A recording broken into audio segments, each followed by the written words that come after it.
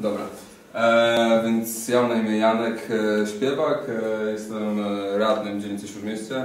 E, byłem, zakładałem w swoim życiu dwie organizacje społeczne, e, teraz zakładam trzecią, e, o czym też chętnie mogę porozmawiać, jeśli będziecie mieć taką ochotę.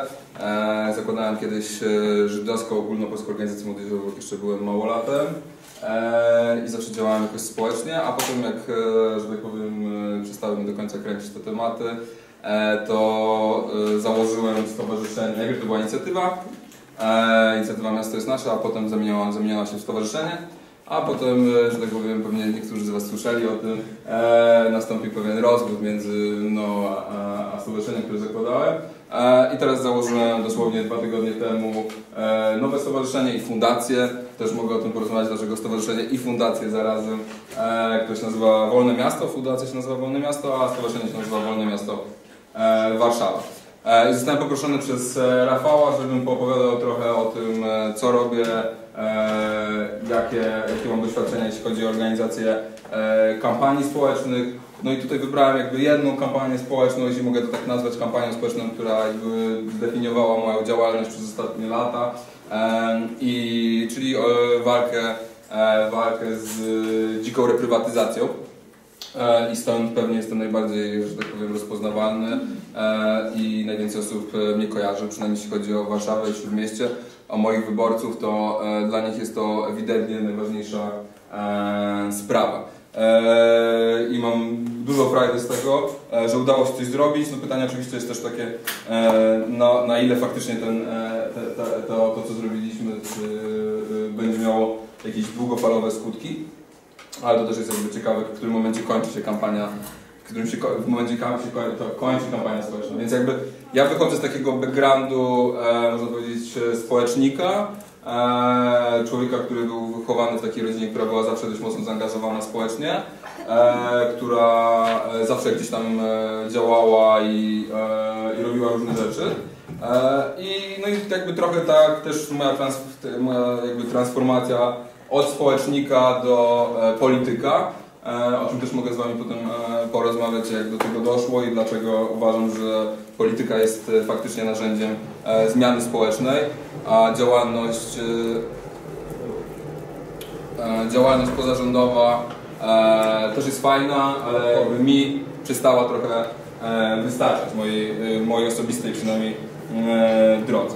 Więc chciałem Wam trochę powiedzieć, jak, jak rozkręcić aferę, e, czyli e, jak nam się udało e, sprawić, oczywiście to jest bardzo dużo się na to czynników złożyło i mój udział, czy nasz udział był tutaj e, myślę istotny, ale nie, nie najważniejszy. E, no w każdym razie udało nam się e, wrzucić temat e, e, dzikiej reprywatyzacji e, do e, mainstreamu i faktycznie zamienić go z tematu e, mocno niszowego, e, lokalnego w temat e, ogólnopolski. E, Może jeśli chodzi, jeśli chodzi o reprywatyzację, może tutaj nakreślę bardzo krótko, e, o co chodzi. E, Reprywatyzacja jest to jakby można powiedzieć, że reprywatyzacja jest to restytucja, czyli w przypadku warszawskim czy w przypadku polskim mówimy o przywracaniu e, własności e, jeden do jednego, tak? Czyli to jest jakby e, sytuacja, w której nie są wypłacane jakieś tam odszkodowania czy coś tam, na przykład jak w przypadku mienia zaburzańskiego, nie wiem czy kojarzycie, mienie zaburzańskie to jest mienie, które zostało pozostawione przez polskich obywateli za Bugiem, czyli, czyli głównie, głównie na terenach, no tam gdzie dzisiaj jest Litwa, Białoruś, Ukraina. E, Tam wypłacono odszkodowania po prostu, no, ale w przypadku Polski, e, w przypadku tej Polski, szczególnie tej w granicach e, drugiej RP, mówimy o restytucji, czyli o odzyskiwaniu, no to właśnie też słowa, też język tu jest dość istotny i też się często dajemy złapać w taką pułapkę językową i też mogę też opowiedzieć trochę więcej o tym, jak język jest istotny przy, przy, przy, no przy jakby e, popychaniu naszych spraw, e, na których nam e, zależy do przodu. Więc reprywatyzacja to jest, jakby, przy- to jest jakby odzyskiwanie własności przez osoby, które miały tą własność e, przed wojną. Jest to samo w sobie dość ciekawe, bo wiemy, że w czasie II wojny światowej i zresztą po II wojnie światowej komuniści e, no, w różny sposób e, odbierali różnego rodzaju e, własność. Czy e, nie wiem, na przykład pewnie nie wiem, czy słyszeliście z lekcji historii, że była dewaluacja złotego, nastąpiła po chyba w 1946 roku. W każdym razie miliony Polaków straciło oszczędności życia. No ale o nich się nie mówi, prawda? Im się zupełnie o nich nie, nie rozmawia, o tym, żeby im na przykład coś zwracać, nie? E, moja rodzina, ja pochodzę z żydowskiej rodziny, ja właściwie e, straciłem całą rodzinę na wojnie. Mój, e, mój dziadek miał przed wojną miał żonę, miał dwójkę dorosłych i małe dzieci. One wszystkie zginęły, zostały zabite, przy, zabite przez hitlerowców. Nikt nie mówi o tym, żeby przywracać czy tam od, wypłacać odszkodowanie tym ludziom, którzy stracili na wojnie rodziny. Nikt nie mówi o tym, żeby, e, nie wiem, na przykład rekompensować straty psychiczne tym ludziom, którzy, e, prawda, e, no wyszli z wojny absolutnie e, pokiereszowani. Chłopi przez lata komunizmu płaci, e, dostarczali e, kontyngenty po cenach regulowanych, które były formą też można powiedzieć e, wywłaszczania, tak? bo jakby było narzucone im to, że mają po bardzo niskich dumpingowych cenach oddawać właśnie płody rolne. Nikt nie mówi o tym, żeby im coś zwracać, czy im coś oddawać. Mówimy tylko tak naprawdę o nieruchomościach, o własności, która należała do bardzo wąskiej garstki osób, bo jeśli sobie zastanowimy się też, e, kto miał własność przed wojną, to ta własność należała naprawdę do bardzo niewielu e, osób. E, Polska w drugiej, w drugiej wojnie, znaczy przed II wojną światową była dość ubogim państwem, e, była państwem, e, no można powiedzieć, e, postfeudalnym, e, która, e, no, która jakby stosunki, stosunki społeczne były naprawdę dość okropne. E, Nie wiem na ile e, znacie historię II RP, ale na pewno nie był to bardzo fajny kraj do mieszkania i myślę, że e, e, myślę, że dzisiaj żyje nam się dużo, dużo fajniej. W każdym razie też to jest coś istotne, że e, no te, ta, ten majątek w dużym stopniu powstawał e, po prostu na niewolniczej pracy e, chłopów, tak, którzy zostali uwolnieni tak naprawdę w Polsce dopiero w połowie XIX wieku, do dziewię- połowy XIX wieku byli to po prostu niewolnicy, tak? I e, te wielkie majątki ziemskie, czy potem, które zamieniały się też w majątki w miastach, no pochodziły e, z, e, z, z, no, z tego, te- tego formu, tej formy e, wyzysku. I teraz te, e, teraz te nieruchomości tym e, ludziom się zwraca. Co jeszcze jest ciekawsze, co jeszcze bardziej jest niuansujące, Niekoniecznie zwraca się tym ludziom. no to już, to już jest on top of it, jakby można powiedzieć, że jakby op- oprócz tego wyrosła jakby ogromny biznes wokół tego, bo e, e, szara strefa skupowania roszczeń e, do, e, do nieruchomości, które były położone e, szczególnie w Warszawie, tak?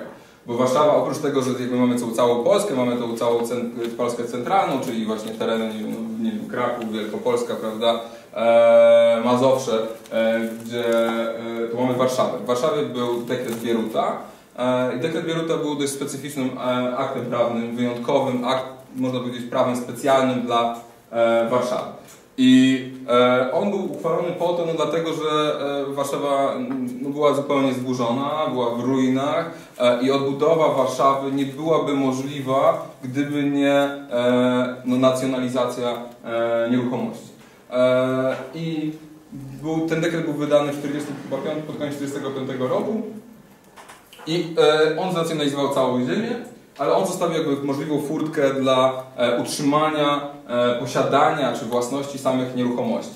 E, I co też jest ciekawe, o czym też możemy porozmawiać, tego nie ma w mojej prezentacji, ale jakby ja będąc, ja jestem socjologiem z wykształcenia, ja musiałem zostać prawnikiem niejako trochę, żeby w tym temacie działać, bo bardzo szybko odkryłem, że dostępne źródła informacji, dostępni prawnicy, którzy o tym wszystkim mówią, czy e, nawet e, wyroki sądów administracyjnych, że e, oni wszyscy interpretują to prawo w bardzo, bardzo specyficzny, nazwijmy to, interpretują to prawo w bardzo, bardzo specyficzny sposób. Interpretują je skrajnie korzystnie dla osób, które posiadały te nieruchomości przed wojną. Dekret Bieruta jest dalej obowiązującym w Polsce prawem, nikt go nie e, unieważnił nigdy i on na podstawie tego dekretu Bieruta dzisiaj są zwracane e, te e, nieruchomości. No więc jakby z braku dostępnych źródeł i z braku e, i z tego takiego strasznego zamieszania i jakiegoś takiego chaosu prawnego,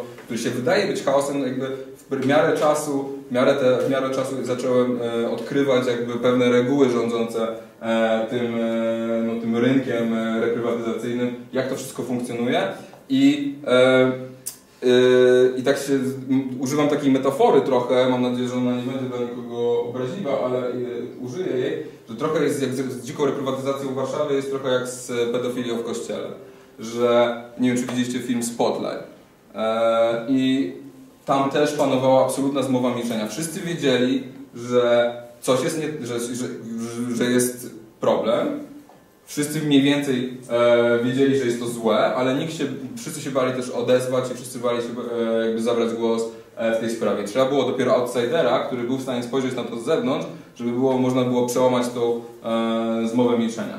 I ja po tych czterech latach, od kiedy zajmuję się reprywatyzacją, mogę Wam powiedzieć, że to jest po prostu jedna wielka lipa. Znaczy to wszystko, co jest w Warszawie, ta cała reprywatyzacja, która ma miejsce w Warszawie, która e, około 4000 nieruchomości zostały e, zwrócone. My szacujemy, że około, około 40 tysięcy ludzi mogło nawet zostać zmuszone do opuszczenia swoich e, mieszkań, że wszystko jest to oparte na orzecznictwie sądowym, które po pierwsze łamie konstytucję, ale nawet samo to orzecznictwo, nawet zakładając, że e, biorąc na wiasie polską konstytucję, e, ono samo w sobie też jest, e, jest e, oparte na rażących naruszeniach e, prawa.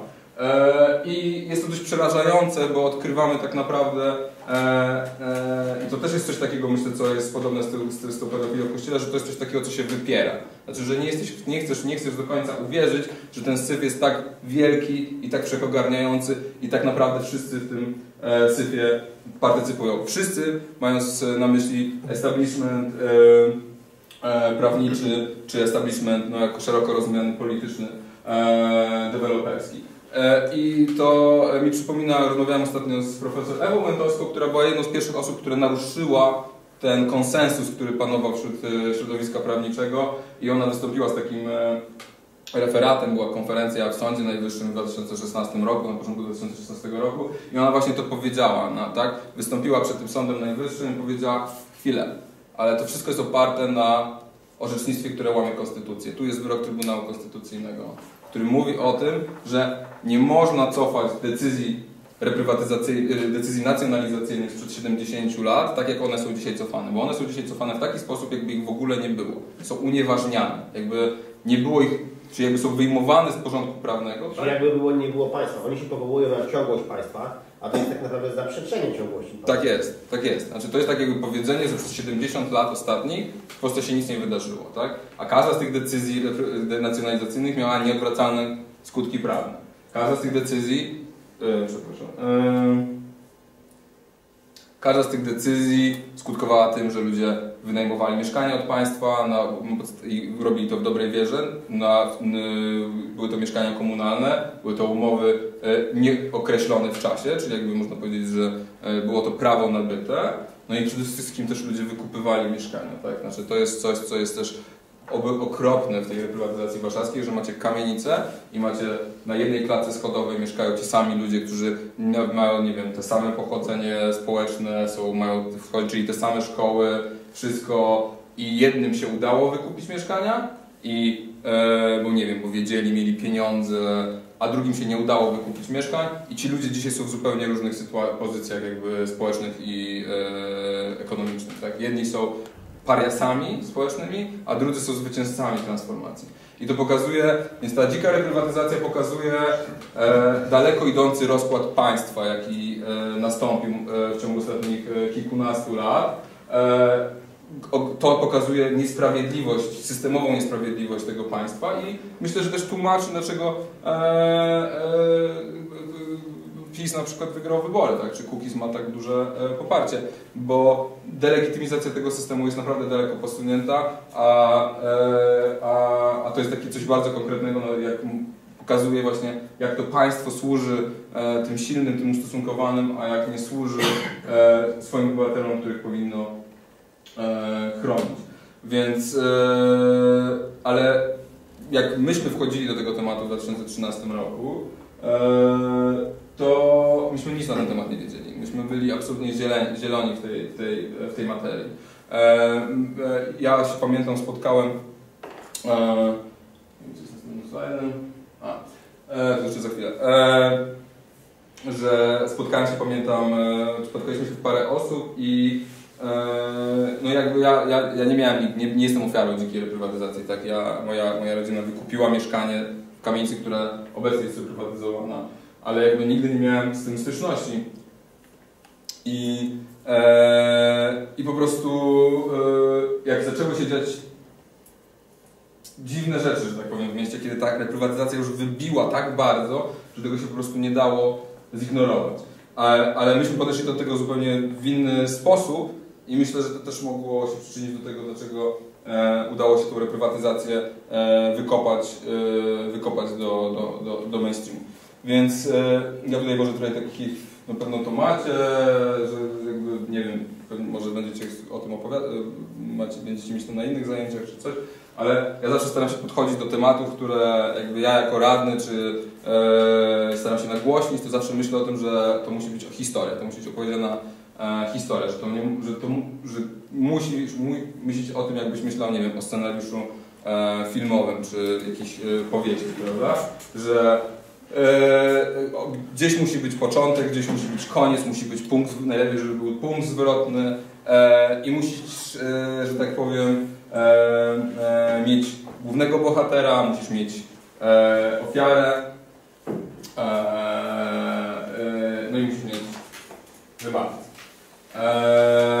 I, I tak jest, i tak jest, i ludzie też się łatwiej i, i lepiej identyfikują z takimi historiami, gdy one właśnie się odnoszą, gdzie, gdzie jest ta gdzie jest ta, gdzie jest ta ofiara, prawda? Gdzie, gdzie, gdzie przypadku dzikiej reprywatyzacji ta historia ma niesamowitą nośność, ma niesamowitą jakby możliwość rezonansu społecznego dzięki temu właśnie, że ma się tych mieszkańców, prawda, są ci mieszkańcy Warszawy, którzy są ofiarami tej sytuacji i oni absolutnie nic nie zamienili, tak, znaczy tutaj nie ma takiej historii, że oni coś, coś przeskrobali, Ho, ale jest taka narracja bardzo silna, z którą nam się udało, nam się je udało zwalczyć i to też myślę, że to jest można powiedzieć o jakimś tematu dyskusji, czyli że mówiono, no tak, ci ludzie przecież mieszkają w tych ogromnych mieszkaniach w centrum Warszawy, za darmo, pałacach mieszkają, prawda, ci mieszkańcy komunalni, to im się należy, żeby ich wyrzucić z tych mieszkań, nie?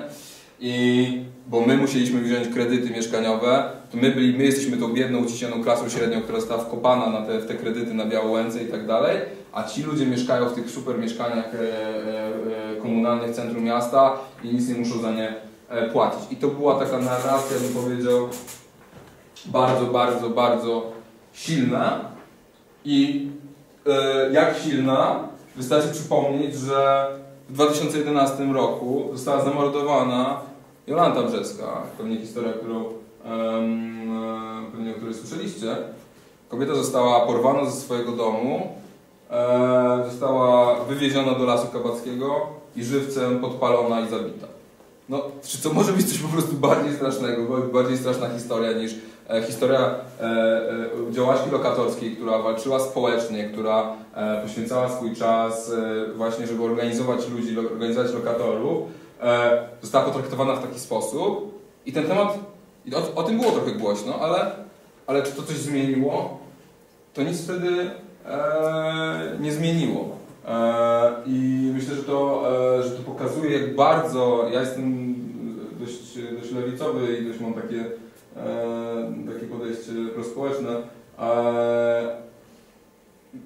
Pokazuje, jak bardzo ten neoliberalny system, w którym wszyscy żyjemy, jak bardzo na wszystkim przeorał mózgi, jak rozgrywa, jak potrafi właśnie rozgrywać, na, szczuć jednych na drugich. I to jest ta klasyczna strategia naszego systemu i też każdej władzy, e, czyli właśnie dzieli rząd, tak? Ja, nie wiem, e, w przypadku, e, właściwie w każdej sprawie, w której ja jakoś zabieram głos czy walczę, zawsze muszę najpierw spróbować przewalczyć tą, tą, tą, tą taką, właśnie taką dynamikę naszczuwania jednych na drugich, tak? Walczyłem z mostem Krasińskim, taki, taki jest most, który bezsensowny, który chce się wybudować na między Żoliborzem a Targówkiem, to szczuli targówek na Żoliborz, tak? Walczę z samochodami, z, z, nielegalnym parkowaniem, to szczuje się e, pieszych na e, pieszych na, na kierowców. Ro, jak się mówi o rowerzystach o tym, że nie ma ścieżek rowerowych, to zamiast mówić o tym, że to jest wszystko kwestia braku infrastruktury rowerowej, to mówi się, prawda, że e, ci rowerzyści to tacy, śmacy i owacy i teraz stara się szczuć rowerzystów na pieszych, rowerzystów na, na samochodach i tak. I to jest taka klasyczna strategia, można powiedzieć, e, władzy i każdego systemu. I pomimo tego, że ona została e, zamordowana w tak okrutny sposób, ten temat w ogóle, ten temat mimo działalności wielu wspaniałych osób, ten temat w ogóle się nie przebił do, do jakiejś szerszej społecznej świadomości. Jak zawsze jak się jeżdżę z, taksów, z taksówkarzami, to zawsze staram się z sprawdzać ich stan świadomości i, e, a taksówkarze są dość dobrze poinformowani, tak mi się wydaje przynajmniej, tak należą do takiej elity, e, jeśli chodzi o, o, o, wiedzę o mieście, to bardzo często się zdarza, że oni nie znają tego, nie wiedzą. A to jest przecież tak silna historia i tak mocna historia, a mimo tego e, oni tego nie znają. E, więc e, nie, chcę, nie mam tutaj gotowych odpowiedzi, dlaczego tak było, ale wydawało mi się, że jest tu pewnie kilka rzeczy, e, o których zaraz będziemy gadać. E, I więc e, to jest jakiś jeden z happeningów, który e, miasto tam na sprzedaż, miasto na sprzedaż, ukradzione miasto, Warszawa. więc pamiętam jak wszystko się zaczęło, jeśli chodzi o reprywatyzację. Przyjechała do mnie moja daleka koleżanka, i mówi mi, że ma temat. Ma bardzo gruby temat. Mianowicie na e, Placu Zamkowym, na Placu Zamkowym w Warszawie e, powstaje biurowiec. I ten biurowiec, z tym biurowcem to jest wszystko lipa, ten biurowiec. Pozwolenie wydane, nigdy nie powinno być wydane. E, konserwator nigdy się na to nie powinien zgodzić. Działka nigdy nie powinna być zwrócona budynek, samo centrum Warszawy na Placu Zamkowym. Czy możecie sobie wyobrazić bardziej centralne miejsce w mieście. I ona mówi, i, i ona mówi tak, znalazła w internecie, bo ona jest taką dość dużo googlującą informację, że e, jeden z architektów tego budynku jest synem e, urzędniczki, która wydała na to pozwolenie na budowę. No to już wtedy wiedzieliśmy, że mamy punkt zaczepienia, tak? Bo e, rzeczy takie jak piękno, ład architektoniczny, jest, to jest coś bardzo abstrakcyjnego, tak? Ale już fakt, że doszło do ewidentnego konfliktu interesów, gdzie można kogoś złapać za rękę, super. E, I e, interesy media. Ja miałem tą, e, ja miałem tą, tą przewagę może nad innymi, że, miałem, że utrzymuję i zresztą dalej mam bardzo dobre kontakty z dziennikarzami. E, I pierwsze co zrobiłem, to zadzwoniłem do mojego kolegi, który był dziennikarzem i zadałem ten temat. Słuchaj, to jest dla Ciebie, ekskluzyw. Ja z tym nic nie robię, Ty to masz, weź to. No i napisał artykuł. Artykuł się ukazał we wproście. No i zaczęła się afera. Od razu rzuciliśmy narrację, był wtedy taki program Platformy Obywatelskiej, nie wiem czy pamiętacie, e, Rodzina na swoim, więc e, oczywiście go użyliśmy. Eee, I media to od razu podchwyciły. On o tym napisał pierwszy, a potem, media, potem zrobiliśmy mema eee, i e, one to podchwyciły i zaczęła się jazda. Jazda, która trwała dobre dwa miesiące. Eee, I jak oni to napisali, to wyszło na jaw, że tego biurowca nikt nie konsultował z UNESCO. Eee, I że to jest taka sytuacja, że to jest, że w Stare Miasto w Warszawie jest, jest e, tym e, w światowej, światowej e, liście dziedzictwa UNESCO. A ten biurowiec, granica tego, tej światowej listy UNESCO przebiegała tutaj. I oni się tłumaczyli, pani, pani, pani, e, pani, pani konserwator się tłumaczyła, że ona się nie konsultowała z tym, bo, e, no bo to już, to już nie jest granica UNESCO. No więc e, no myśmy się wiele nie zastanawiając, popadliśmy oczywiście w przesadę.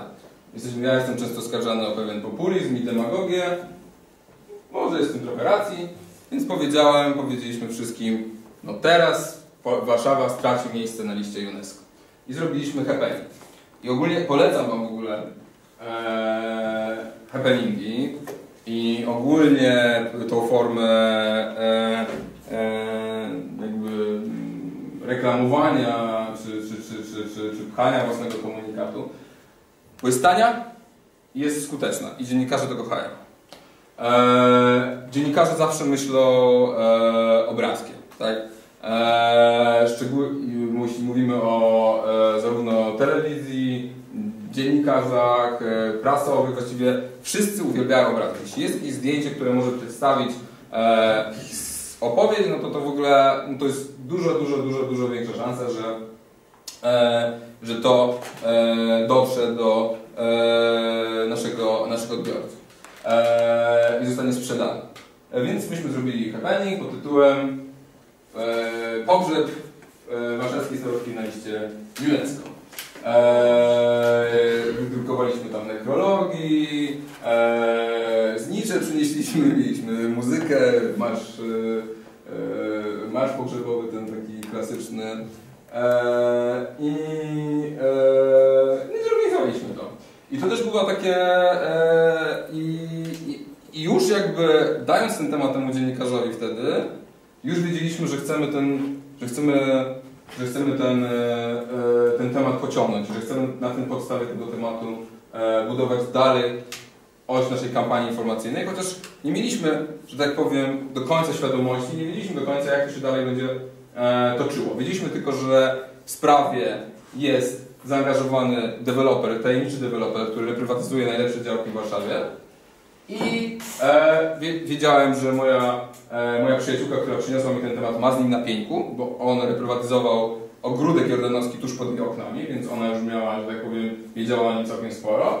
E, I e, no więc e, poszliśmy w to. To jest w ogóle całkiem zabawne, bo ten facet to jest e, prawnik, się nagrywa, Eee, to jest prawnik, który został aresztowany razem z Gromysławem Czempińskim za korupcję przy, eee, przy, przy prywatyzacji e, Orlenu. Eee, I pojawił się tam, w ogóle to było bardzo dziwne, bo pojawił się tam zupełnie nie wiadomo skąd i zaczął na nas krzyczeć, nie? Eee, was. Co? Opierniczył was. Tak jest. I właśnie on tam wymakuje, i on tam właśnie wymakuje, wymakuje ręką, to chyba jest profesor Polaniewski, który się z nim kłóci.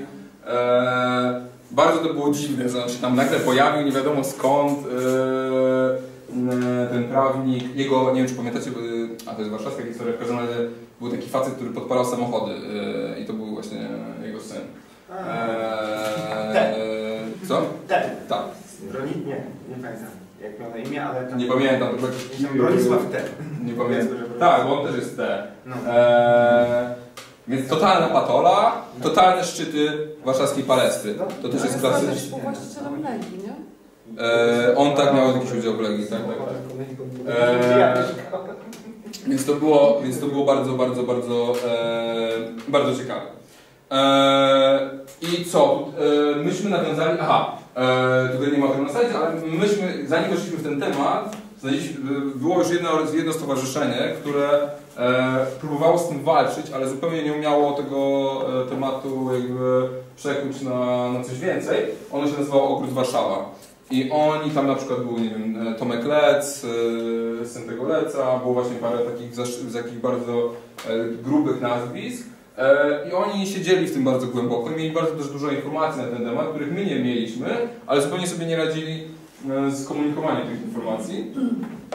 Więc e, bardzo szybko też postanowiliśmy nawiązać z nimi bardzo ścisłą współpracę i też zawsze jak do tego podchodzimy, jak robimy różne akcje, przynajmniej na początku jak to robiliśmy, e, jak ja to robiłem, zawsze staraliśmy się jakby budować koalicje, koalicje szersze koalicje, które jakoś tam się właśnie uzupełniają, tak? I oni byli ludźmi, którzy się znali na właśnie na e, historii, historii sztuki, oni się znali na zabytkach, oni się znali na prawie budowlanym. My, my tego zupełnie nie, się na tym nie znaliśmy. Więc ściągnęliśmy tych ludzi, no i jak my... To nie jest... Nawzajem o sobie wiedzieliście, że ten kontakt nawiązaliście, że mogliście ich ściągnąć? O Boże, jak to było. Bo to jest e, no, bardzo dobra sytuacja, tak? Macie temat, macie zasoby bardzo ogólnie w cudzysłowie nazywając medialne, mm. i zaplecze merytoryczne Tak. się właśnie pojawia no, no, Może niczym momencie. z- zabij mnie, ale nie pamiętam teraz dokładnie jak to było. To, był, to, to jest e, wrzesień 2013 rok. A to jest zasada przyciągania. Jak zaczynasz coś robić, to później wokół czegoś zaczyna się kręcić coraz więcej osób i nie ma... To, to jest łańcuszek zawsze. No tak, tak, tak, ale właśnie chcę się zastanawiać jak to było, żebyśmy się... Nie pamiętam, że myśmy się poznali. W każdym razie, jak oni przyszli, to to już nie jest tak, że trzech gówniarzy coś tam gada, że Starówka zostanie zlikwidowana z listy UNESCO, tylko jest pan profesor, mówi, że tutaj jest wał, tak? Drugi pan mówi, że tu jest wał. I teraz to już nie jest tak, że tylko jacyś gówniarze napieprzają, tylko że jest już, za tym stoi jakiś autorytet, tak? I to jest niesłychanie istotne, szczególnie na samym początku naszej działalności, kiedy nie chcieli nas brać e, też na, na poważnie, tak? Kiedy, e, e, kiedy takie podejście, że reprywatyzacja jest dobra, a to, że się buduje nowe biurowce jest zawsze dobre, tak? I zresztą e, niestety to jest bardzo dominujące ciągle e, myślenie, tak? Nowe inwestycje, duże inwestycje infrastrukturalne, no to jak budujemy nową drogę, to to musi być super, no. A my wychodzimy z założenia, jako ruchy miejskie, ja osobiście też, że, e, no, że to jest właśnie, że to jest totalna patologia, nie? No, że, że wydaje się właśnie miliardy złotych na inwestycje, które nie przekładają się w ogóle na poprawę jakości życia, które nie poprawiają się na tak naprawdę na zrównoważony rozwój, na długoterminowy rozwój gospodarczy. Że on może, to jest po prostu, że to jest jakaś tam forma przejadania tego wszystkiego. I myśmy musieli od razu się skonfrontować z tym, że ten biurowiec powstaje na miejscu, to jest kolejna też istotna rzecz, e, na miejscu e, parkingu, nie? I tam był parking. E, I argument też jest taki, też bardzo często, no tak, no przecież to jest takie zapuszczone, okropne, coś tam, a teraz powstanie taki super biurowiec, nie?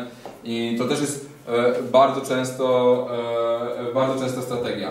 Tamten, zanim tam był parking, tam w latach 70., 80., tam był bardzo zadbany e, skwerek z jakąś fontaną i tak dalej, no tylko oczywiście jakby kapitalizm doprowadził do tego, że to się zamieniło w parking i stało się z miejsca publicznego, stało się miejscem prywatnym, w dodatku zaniedbanym, więc wszyscy po prostu e, z otwartymi ramionami, prawda, e, no fantastycznie, wreszcie nie będzie parkingu, będzie piękny biurowiec, tak?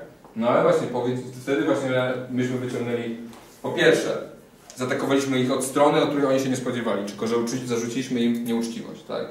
I to jest coś, co e, e, pokazaliśmy związki rodzinne i nepotyzm, który panuje e, w warszawskim e, ratuszu. I Panuje trochę. co? Trochę panuje. Trochę panuje. I słuchajcie, pani prezydent musiała zdymisjonować panią urzędniczkę i wstrzymała pozwolenie na budowę. Ale szybko się okazało, że to była tylko ustawka na uspokojenie nastrojów i e, pozwolenie na budowę, które zostało wstrzymane przez panią prezydent, zostało natychmiast wznowione przez wojewodę, który też był z Platformy Obywatelskiej. E, I to była po prostu rozgrywka. Pani naczelniczka, która niby miała być dymisjonowana, tak naprawdę została tylko po prostu przesunięta gdzieś na jakieś inne stanowisko. Dalej pracowała tam, gdzie pracuje, dalej wydawała pozwolenie na budowę. I to jest właśnie w tym, z walką z tym wszystkim, z tym całym systemem, który nas otacza, to jest najstraszniejsze, że to jest po prostu jak nawet gdzieś tam uda Ci się coś zrobić, to i tak potem się okazuje, że tak naprawdę ta zmiana jest e, iluzoryczna, nie? że ten, ta, ta poczwara odcinasz jedną głowę, a natychmiast wyrastają dwie nowe. E, i, e, I tutaj jakby się uaktywniły też trochę nowe nasze umiejętności, których musieliśmy się też nauczyć, czyli robienie researchu, działalność, można powiedzieć, taka śledczo-badawcza. I na, e, kolejną rzeczą, którą musieliśmy się nauczyć jest e, czytanie ksiąg wieczystych, czyli absolutnie kwestia kluczowa, jeśli chodzi o e, dynamikę procesów e, w mieście i w ogóle tego, co się dzieje, dzieje w mieście, bo z ksiąg wieczystych możecie wyczytać bardzo, bardzo wiele, tak? Bo tam są jakieś umowy, coś tam, tu się zmieniają jakieś podmioty, ale w księdze wieczystej zawsze ten właściciel będzie zapisany i też będzie wiadomo, jak to był wcześniej właścicielem, nie? I w przypadku reprywatyzacji to okazało się absolutnie kluczowe. No tylko, że księgi wieczyste nie są ogólnodostępne, niestety, moim zdaniem. E, chociaż można mówić, zastanawiać się, czy, czy tak być powinno, czy nie powinno. Moim zdaniem powinno być jawne, szczególnie w kraju, który jest e, tak, którym korupcja jest tak, e, tak e, powszechna. E, ale, ale nie jest. Zdobyliśmy tą księgę wieczystą dzięki naszym kolegom ze Stowarzyszenia Ogół Warszawa. I co się, co się okazało? że historia z, z, z biurowcem na placu zamkowym jest jak, jest jak soap opera i się nigdy nie kończy, bo okazało się, że oni oddając im, tutaj to jeszcze było zdjęcie jeszcze bez tego biurowca, on powstał tutaj, że oni mu oddali tra- fragment trasy WZ razem z tym biurowcem. I że... E, I że... Rozumiem, E, że nie ma jakby własności warstwowej, tak? Nie Jak ma jest działka, to jest po prostu Tak. wszystko w górę, w dół. Nie? więcej, że trasa WZ jest samowolą no. Nie ma trasy WZ. Trasa WZ... Czyli ten budynek powstał jednak, nie? nie Tak, tak. Czyli też i cały 40-latek jakby. jest nieważne. To jest, to jest ta kamienica ze skocznym dachem. E, nie, wiesz co, nie, nie, to, jest- to jest zdjęcie jeszcze przed tym, e, przed tym, nie, no to on sobie pięknie stoi tutaj w tym momencie. Ale, e, i ludzie byli, jak to? Jak to jest możliwe, że, że, że, e, że, e, że sprywatyzowano trasę WZ, nie? I, e, i e, no dla nas to wszystko było szokiem i, że tak powiem, e, nagłośniliśmy tę sprawę i to też pozwoliło nadać tej sprawie jakby trochę e, drugie życie. Z jednej strony jest tak jak mówisz, że nie ma w Polsce własności warstwowej, czyli że wszystko co jest pod działką, nad działką należy do tego samego właściciela, ale z drugiej strony to było budowane za stalinizmu i nigdy nie zostało, że tak powiem, ten, że tak powiem, e, do końca zalegalizowane, tak? Znaczy ja do końca, aż tak, te, aż ten, aż tak ten temat nie, nie, nie wszedłem, ale e, burmistrz właśnie dzielnicy Śródmieścia jakby obwieścił z uśmiechem, że przecież trasa WZ jest samowolą budowlaną.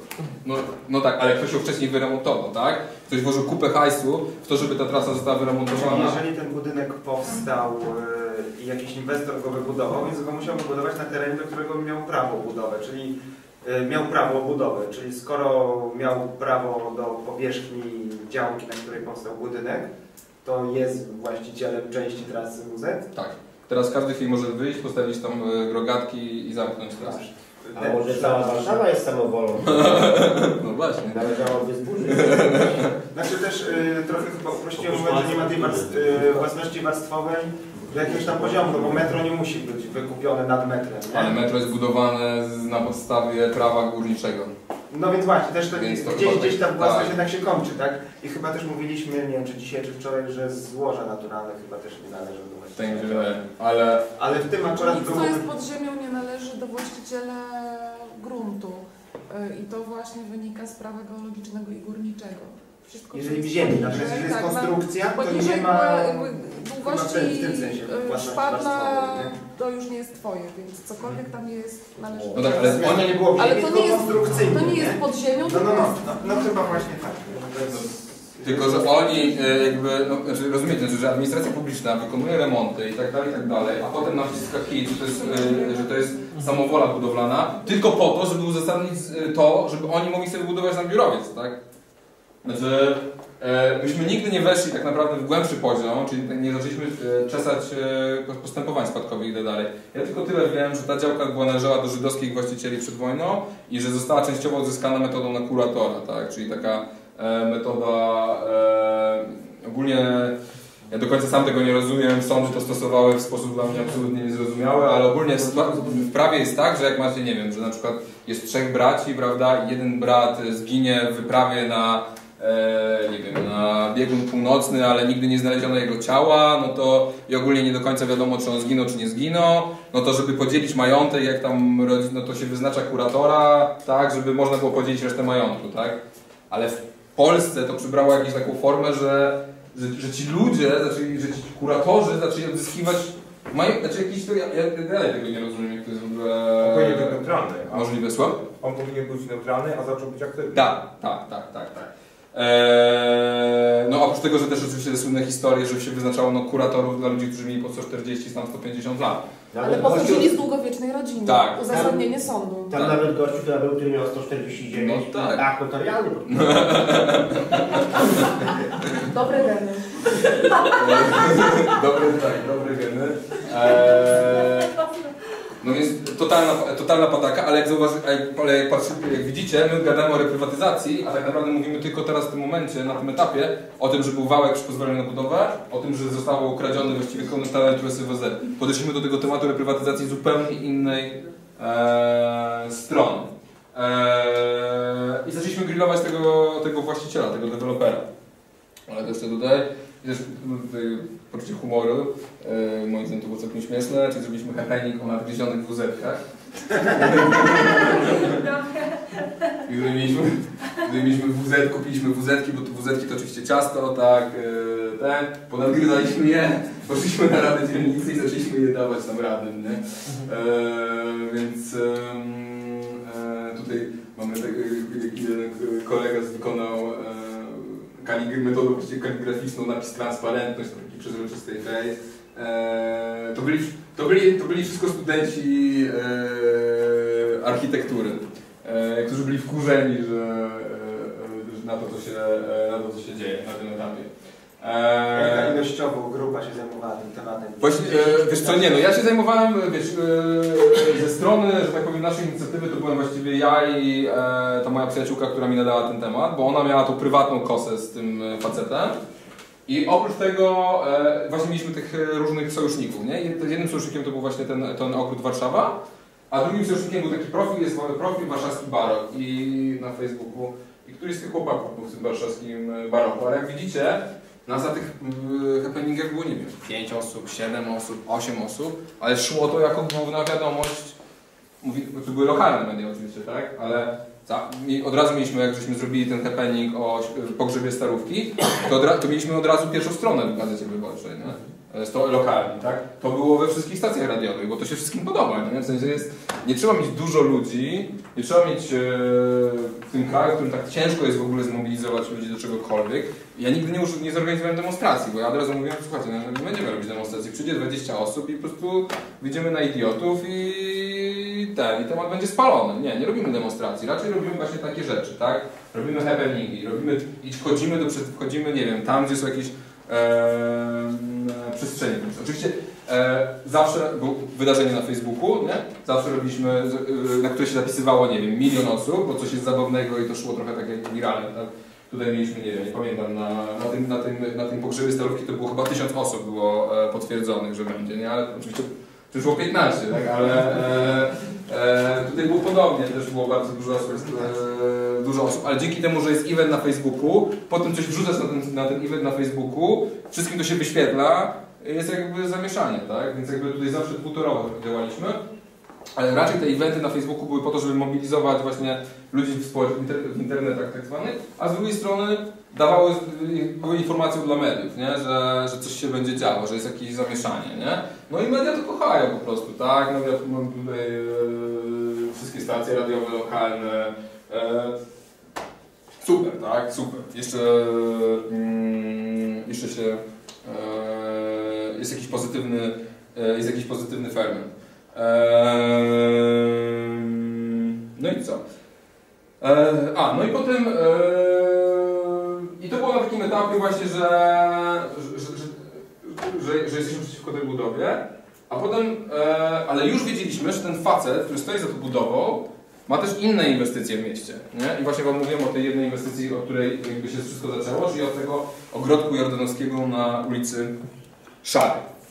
I ta moja koleżanka, ta moja przyjaciółka obecnie jakby mieszkała tam obok i była bardzo e, tym zaniepokojona. I oni też robili bardzo dużo akcji wokół tego. Oni, oni zorganizowali e, mieszkańców, oni zrobili dwa pikniki mieszkańców, oni nawet ściągnęli z TVN24, który zrobił materiał na ten temat. I wszystko... Kto oni? Jakaś grupa Tak. mieszkańców? Obrońcy Jordanka. Tak. Tak, tak, tak. Ludzie, tak, którzy tak. mieszkają wokół, Tam jak- wszyscy, lu- ludzie, którzy mieszkają wokół tego Jordanka, no bo rozumiecie, no mieli, był Jordanek, nie, był plac zabaw i nagle facet przyjeżdża o godzinie 6 nad ranem i zaczynają kłuć, słuchajcie, zaczynają kłuć yy, yy, taras przy szkole. I, jakby, I wylatują mieszkańcy i mówią, cholera, co tu się dzieje, nie? I odkryli, że właśnie zwrócono Jordanek, nie? A oni, a oni lecą, y, geodeta gdzieś tam się pomylił parę metrów, trudno do tamtego. I zaczęli kłuć ten, ten taras tego, e, tego, e, e, tego, tego, tego, tego, tego przedszkola. Dobrze, że przedszkola nie wyburzyli razem z dziećmi jeszcze. Eee, zaraz wam opowiem o, in, o szkole, która jakby tutaj była po drodze, została w teorii ofiarą jeszcze jedną, nie? I oni właśnie zorgani- oni zrobili, można powiedzieć, wszystko, co można, mogli zrobić bardzo dobrze w ustosunkowaniu, bo to słuchajcie, no to jest Powiśle warszawskie, Rozbrand, no, jedna z najdroższych ulic y, w Warszawie. Tam mieszka po prostu, e, mieszkają bogaci, ustosunkowani ludzie, więc oni sprowadzili właśnie tam tę ekipę TVN24 i tak dalej, i tak dalej. Powstał materiał na ten temat, zresztą powstał materiał, którym jako je- jest y, ten facet, zdradzam wam już trochę, y, co się wydarzyło później, został aresztowany ten urzędnik, ten Jakub Rudnicki. I nie było jego żadnego zdjęcia. Żadnego. On sobie nie dawał robić żadnych zdjęć, bo wiedział, że zostanie aresztowany albo coś takiego. On to już zakładał zdaniem od początku. E, I właśnie materiał powstał jeden telewizyjny, jak facet po prostu, jak ten dziennikarz e, e, nie wytrzymał, bo go nie chcieli wpuścić do, do jego gabinetu, nie chciał z nimi rozmawiać, po prostu się wbił tam na hama ten, ten, ten, ten, ten, ten, ten, reporter i go sfilmował. I, tylko on tam jest taki, takie, takie ujęcie, jak on biegnie i właśnie zakrywa, wie, zakrywa, e, zakrywa e, kamerę, żeby nie było, żeby nie było po prostu śladu jego, e, żeby nie było jego, jego twarzy. W każdym razie i oni zorganizowali, zorganizowali mieszkańców, zorganizowali właśnie dwa, dwa, dwa pikniki, poszli do Rady Miasta, zorganizowali bardzo szeroką koalicję i nic, nic to nie dało. E, co jest całkiem ciekawe, bo potem się okazało, już dużo, dużo później, to już na fali naszego, naszych sukcesów, że jedna trzecia tej nieruchomości, którą oni im oddali, była spłacona przez państwo polskie już tam w latach 60. czy 70., a osobą, która wyłudziła, można powiedzieć, tą nieruchomość, sprzedała roszczenia dwukrotnie, jakby, znaczy została, od, jej, jej rodzina dostała odszkodowania, a potem następnie sama nas drugi raz sprzedała, był ambasador amerykański w Warszawie, Nicholas Ray. Eee, zresztą potomek e, słynnego Mikołaja, linii prostej Mikołaja Reja, co pokazuje Wam, jakie są, e, o czym, z czym my mamy tutaj do czynienia, tak? I ten facet na pewno wiedział, że jego matka dostała odszkodowanie. I jeszcze opieprzył, jeszcze opieprzył roszczenia do liceum francuskiego na Saskiej Kępie. Więc naprawdę niezłe ziółko był, ale wzięło mu się i umarło, więc chyba nie, nie odpowiem. Eee, ambasador amerykański w Polsce. Eee, no i zaczęliśmy kminić, że ten facet jest po prostu tutaj, nie ma niesamowite plecy. Tutaj mieszkają najlepsi mieszka mieszkańcy, po prostu robią sobie jakieś takie akcje. W normalnej sytuacji wydawałoby się, że to powinno wystarczyć, a tu nic. I zaczęły do nas dochodzić słuchy, że otóż ten, ten deweloper, który Ma- Maciej Marcinkowski, stoi również za e, likwidacją gimnazjum na ulicy Twardej. To jest, e, było najlepsze gimnazjum w Warszawie. I najstarszy. To nawet. E, I e, dwujęzyczne, ba, naprawdę świetna, świetna jakość W którym miejscu? E, tuż obok synagogi. Jest, e, tam gdzie jest Kosmopolitan, jest taki wysoki nowy wi- wieżowiec i obok jest takie jakby przedszkole z lat 50., e, które, e, e, które, e, które chyba z takim dużym boiskiem w ogóle z tyłu, między blokami, tam z tyłu stoją, stoją bloki. Ale nikt nam nie chciał powiedzieć, cholera, kto jest, stoi za likwidacją tego gimnazjum. Nie, nie, nie, nie przyniosłem, nie, nie, zrobiłem, nie zrobiłem zdjęć, ale, ale e, e, i ten facet e, i, i oni przepchnęli, znaczy oni, Platforma Obywatelska, e, przepchnęła najpierw przez Radę Dzielnicy Śródmieście e, dec- e, uchwałę o tym, że mają zlikwidować to gimnazjum, a potem przez Radę Miasta. Historia się skończyła w ten sposób, że trwało obecnie śledztwo w prokuraturze, a też się okazało, że jedna trzecia, przynajmniej jedna trzecia tego, e, tego co on tam niby miał, też była już spłacona, e, też była już spłacona za czasów e, PRL. Więc jedna wielka lipa, a mimo to ten facet był w stanie doprowadzić do likwidacji najlepszego gimnazjum w mieście. A o facecie nic nie było wiadomo, nic. Nic po prostu. Eee, nie wiadomo kim on jest, skąd on ma pieniądze, co to w ogóle za facet. Ja wtedy pamiętam, że e, zadzwoniłem do mojego kolegi, który siedzi w tych nieruchomościach i go zapyta, poprosiłem go, słuchaj, dowiedz się, czy, ten, czy to jest tak, że jak my myślimy, że to jest ten, ten Marcinkowski stoi za, za likwidacją e, za likwidacją tego gimnazjum. I on zadzwonił, popytał się, gdzie trzeba i zadzwonił z powrotem, że, że potwierdził, tak, potwierdził, że to jest on. Spoko, mija parę dni, dzwoni do mnie drugi raz i mówi wiesz co, Janek, ale ty uważaj. Ja dostałem telefon i mi powiedziano, że ty masz uważać, jak przychodzisz na przejście na pieszo.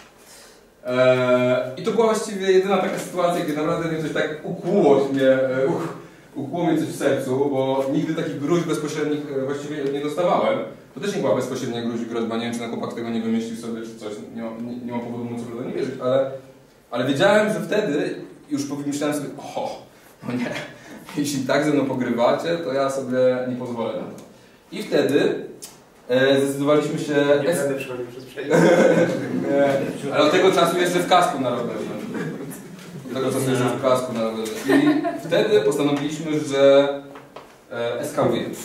Znaczy ja postanowiłem właściwie, bo to, to było tak, że, że, że ja głównie pchałem do tych spraw. I postanowiliśmy posłużyć się czymś, co e, jest bardzo fajnym narzędziem, polecam je wszystkim, czyli infografiką, interaktywną infografiką. Eee, postanowiliśmy zebrać te wszystkie informacje, które mamy na temat tego Marcinkowskiego.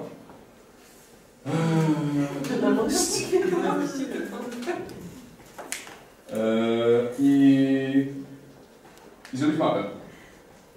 I można powiedzieć, że jest to mm, bardzo, e, że jest to w ogóle e, część polskiej historii e, prawniczej, bo bo, bo wcześniej to trochę była taka, można powiedzieć, nie do końca unormowana sprawa, jeśli chodzi o interpretację prawną, co wolno, a czego nie wolno pokazywać. I myśmy przesunęli te granice bardzo, bardzo do przodu na korzyść obywateli, jeśli chodzi o prezentowanie danych i informowaniu szczególnie, bo jeśli chodzi o, o funkcjonariuszy publicznych, no to wszyscy wiedzą, że można ich krytykować, oni podlegają e, dużo, e, mają ich ochrona dóbr osobistych jest dużo, dużo węższa niż ochrona zwykłych e, osób. Eee, ale. Eee, nie, nie, nie. Myśmy, nie, pani, ja o pani Kruk się dowiedziałem bardzo, bardzo późno. Eee, ale jeśli chodzi o osoby przede wszystkim o biznesmenów, nie? Znaczy, że, że biznesmeni się do. Yy, można powiedzieć, że do. No nie chcę tak. Ale. No, jakby no, byli świętymi krowami, co dużo mówić, deweloperzy, tak? Znaczy, że ich nie wolno było krytykować, nie wolno, im w ogóle nic nie wolno było robić. E, I to się bardzo jednak zmieniło od tego czasu. Jest nawet taki wyrok. Pamiętam, że właśnie wtedy, kiedy, on, kiedy to się skończyło, jak się wylądowaliśmy w sądzie, to e, byłem przerażony, bo znalazłem taki wyrok, zresztą prawomocny chyba, gdzie jakiś dziennikarz napisał, że e, prezydent wyświadczył, dał prezent e, jakiemuś deweloperowi, to było w jakimś mieście średniej wielkości, już nie pamiętam gdzie. Chodziło o to, że za pieniądze gminy wybudowano drogę do e, centrum handlowego. Nie? W sensie absurd. No. I oni i był tytuł, że dostał prezent, tak? I został skazany ten dziennikarz, nie? Został skazany za to, że tak napisał. Że to obrażało, że to obrażało i tego prezydenta, i tego dewelopera, nie? Więc jakby abs no, no komuna no, po prostu można powiedzieć, tak? No i myśmy i myśmy zebrali, i myśmy zebrali informacje na temat tego faceta. Tutaj macie urzędników państwowych. Tu jest właśnie ten Jakub Rudnicki, który został aresztowany. To jest jego jedyne zdjęcie właściwie. E, to jest Bajko, e, Marcin Bajko, czyli szef, szef jego szef. E, I tutaj właśnie, no właściwie nie pamiętam dokładnie dlaczego akurat tak to było. W każdym razie to jest, to jest taki to jest wiceprezydent Wojciechowicz, który został zdymisjonowany po naszych akcjach. Bajko też został zdymisjonowany. Mikos, czyli szef biura planowania, on został też zdymisjonowany, ale trafił na jakże e, mało eksponowane stanowisko wiceszefa biura architektury. Już nie jest szefem biura architektury, jest tylko to jest Wojciech Bartelski, czyli burmistrz Śródmieścia, który wydawał te wszystkie pozwolenia, znaczy, który nadzorował pracę tej pani, która wydawała pozwolenia na budowę, to jest konserwator zabytków, a to jest wszystkim nam znana pani Julia Pitera, która pojawiła nam się w tej historii e, przypadkiem, e, ale też pokazuje jakby umocowanie tych ludzi, tego dewelopera i ogólnie tego układu reprywatyzacyjnego w strukturach partii politycznych, nie tylko... Transparency International do tej pory nie chce mieć nic wspólnego z Polską po, po epizodzie współpracy z panią Julią No, ona jest jedyna powiedzieć... osoba, z którą ten deweloper, mm, z tego co widać, a nie, jeszcze z, yy, ma kontakt, tak? Prowadzą nitki tylko do nieruchomości. Tak, znaczy myśmy... Do, no. Ale widzę, że tam jeszcze do tego urzędnika w lewym górnym rogu też prowadzi, eee, Nie, jest jedyne, jedyne bezpośrednie połączenie jest... A, tak, jedyne, tak, tak, tak, bo Bart, Bartelski... Bo to było tak, że wchodził Bartelski, chodził ten burmistrz mieścia i mówił Zapomnijcie, będą te apartamenty w tym, w tym ogrodzie jordanowskim, tu w ogóle, jest, w ogóle nie macie o czym gadać, nie? A tam nie było planu zagospodarowania, nie? Tam nic nie było, znaczy, bo wiecie to jest, że jak nie ma planu zagospodarowania, to muszą być warunki zabudowy wydane, tak? I w ogóle jak ogród jordanowski przestał być ogrodem jordanowskim? To jest pytanie. Nie, nie ogrodzie, bo ja akurat pracuję w ogrodzie jordanowskim no. drugim. I one są chronione prawnie, Ogrody jordanowskie to zostały w ogóle stworzone przez Henryka Jordana na długo przed II wojną i on ufundował większość tych działek. A to, co nie ufundował Jordan, to pomagając Jordanowi, ufundowało państwo. Ale to jest jakaś, one są jakoś specjalnie chronione przez państwo, nie? One mają jakiś status No to prawny jest, osobny. to jest placówka oświatowa. No tak. Pozaszkolna placówka oświatowa. No, I jak to przestało być, to świat... nie, nie, ma, nie ma dokumentów, że przestało. Nagle przestało być, nie? Nagle wyparowały dokumenty. Jest inna historia też e, z parkiem nad Jeziorkiem Wrocławskim, który przestał być parkiem, nie? E, nie, nie ma dokumentów. Znaczy, jest, są sobie dokumenty, że jest park, park, park, park i nagle przerwa jakaś, nie ma parku, już nie ma żadnego parku, są osiedle, jest osiedle europejskie, nie? Eee, no i ten Bartecki opowiadał, że tam na pewno będą te, te biurowce. Nekada Trepka kłamała, czyli tak e, konserwator zabytków, która została potem zdymisjonowana i przeniesiona na jakże miłe stanowisko dyrektora Muzeum Warszawy. Ona publicznie kłamała na temat e, warunków konserwatorskich. Eee, a z kolei Julia Pitera, nie wiedzieć czemu, napisała 8 interpelacji w sprawie pana Marcinkowskiego, żeby jak najszybciej mu oddać ten grunt e, na, na... Znaczy Julia Pitera jest mi też trochę z różnych historii znana. No jedna jest ta historia, kiedy Julia Pitera była szefową Transparency International Polska i będąc szefową organizacji międzynarodowej zajmującej się walką z korupcją, sama uwikłała się w korupcję. I wtedy Transparency... Tak. I, znaczy, I wtedy Transparency zwinęła swoje biuro w Polsce, jak Ci pewnie wiadomo, i powiedziała, że nie chce mieć z Polską nic wspólnego. Czyli przyszło, Bo było, teore, z teoretyczki korupcji stała się Tak, bo, bo jakby te władze międzynarodowe transparencji uznała, że pod względem korupcji Polska jest przypadkiem beznadziejna. A drugi jest przypadek znany. Znaczy ona wydawała te certyfikaty chyba LKS-owi, nie? Dała, że jest e, czystą firmą. Być E, firmą czystą, jeśli zapłacisz za certyfikat, Tak. jesteś firmą wolną od korupcji. E, nie, no to ono jest numer niewiarygodny. A drugi numer jest taki, to jest akurat mi znana sprawa z grona moich znajomych. Znaczy, no chyba mogę tu powiedzieć, nie wiem, czy nagrywa, czy nie nagrywa. No w miejscowości pod Warszawą, a konkretnie w Kalinowie. Była taka historia, że kolega Pitery poskarżył się Julii Piterze na to, że, dyrek, no, że Rada Pedagogiczna na, na skutek bardzo poważnego wybryku tego chłopaka ostatniego dnia obniżyło mu, ostatniego dnia roku szkolnego na ostatniej radzie obniżyli mu ocenę ze sprawowania, nie? Yy, I Julia Pitera zadziałała przez, ten gość zadziałał przez Julię Piterę w taki sposób, że Julia Pitera przyjechała do ówczesnego wójta i zwolnili dyrektorkę szkoły. Wow. A teraz jest europosłanką i zarabia 40 tysięcy złotych miesięcznie. E, Julia Pitera też załatwiała pracę e, przez, e, przez, przecież była nagrana, jak, były, przecież, e, jak zarzuty postawiono Krzysztofowi Kwiatkowskiemu, czyli, czyli NIK-u, to Julia Pitera została nagrana, jak załatwiała pracę też tym, tak? I nikt jej nie postawił żadnych zarzutów, a Krzysztof Kwiatkowski e, dalej jest szefem e, NIK-u, nie? E, Naprawdę żyjemy w Matrixie, słuchajcie, to jest przerażające. No i Eee, a, no i tutaj jakby, słuchajcie, no, to wzięliśmy to wszystko do, do kupy, no i to wszystko zrobi- stworzyło jakiś poraża, porażający obraz.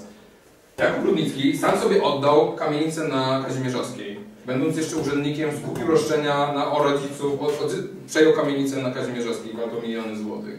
Eee, eee, tutaj to jest to gimnazjum, to jest to gimnazjum na twardej, nie? To jest ten biurowiec na, e, na mm, Placu Zamkowym. Tu to jest pomnik na Kopernika na, e, nowym, na krakowskim przedmieściu, gdzie oni chcieli mu to oddać za wymianę. Co? Kopernikowi? Nie. Należało. Nie. E, Tam jest taki parking. Tak, tak. Nie mówię o samym pomniku, jest bez przesady. Ale komu? No jemu. No nie temu. Aha! Temu Rzymkowi. I oni chcieli, słuchajcie. Nie no, żartowałem, że Kopernikowi, ja nie mam... To, to jest, słuchajcie, luty 2014 roku, nie? Znaczy to jest na 2,5 roku przed y, tymi wszystkimi rewelacjami, nie? O których y, cały kraj mógł się dowiedzieć, nie? I już wtedy wiedzieliśmy, że, jest, że oni chcą, słuchajcie, tu jest y, boisko na ulicy Foksal i oni chcą wymienić roszczenie z boiska na ulicy Foksal na tą działkę przy, na Kopernika i nie tylko, że chcą im wymienić to roszczenie na ulicy Foksal, na tą działkę przy, przy, przy, przy krakowskim przedmieście, ale jeszcze chcą dać mu działkę pod Pałacem Kultury. Eee, Tą działkę. e, lustrzaną działkę, bo afera reprywatyzacyjna, że tak powiem jeszcze, nie, to jest e, to, co życiu usłyszeli, to jest pierwszy akt tej afery. Jeśli to zostanie dobrze przeprowadzone, to, e, o czym też mogę potem powiedzieć, e, cały plac defilat był, e, cały plan zaspodarowania placu defilat był, e, był tworzony pod tych ludzi. Tam były dwie działki. Była ta działka o Chmiele 70, o której wszyscy prawdopodobnie słyszeliście, i była druga lustrzana działka, na której miał wybudować swój wieżowiec Marcinkowski. I ten facet znikąd nagle ma tak, ma gimnazjum na tej twardej, nie? Zlikwido- zlikwidowane, ma wieżowiec budować na e, e, placu Defila, e, ma budować hotel i odtwarzać jakąś kamienicę Karasia na krakowskim przedmieściu, już wybudował na placu zamkowym coś, zaraz będzie budować apartamenty na najdro- na najdroższej ulicy, jednej z najdroższych ulicy w Warszawie.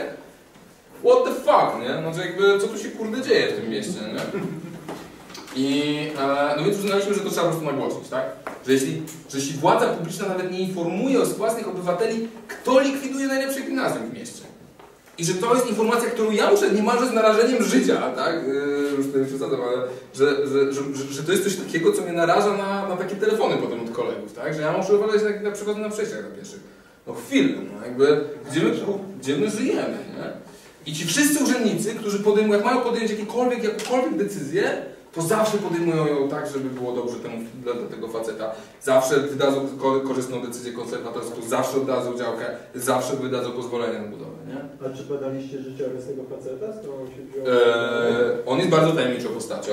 Ja mogę, e, nie wiem co się będzie potem działo z tym nagraniem, ale e, różne plotki chodzą. Ja wiem tylko tyle, co, co było, ja jakby było, mogę powiedzieć to, co potem się mogę z wami podzielić różnymi informacjami, które mam na jego temat, ale e, on podobno, to był facet, który był w jednej fundacji z Aleksandrem Kwaśniewskim, w takiej totalnie nomenklaturowej e, fundacji Seper Polonia, która zajmowała się e, pomocą Polakom na wschodzie.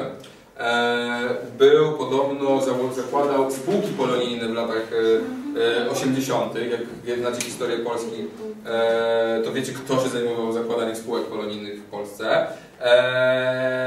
I e, i u- no, no ale No to już... To Słup! już sprawa. no, to się nazywa słup. To jest klasyczny słup. Za przeproszeniem. jeszcze, e, a czy mm, taki przeciętny mieszkaniec, kiedy wchodził na taką stronę i z tym Mhm. wykresem, to on mógł na przykład przeczytać Tak, tak, to bo, znaczy ja niestety...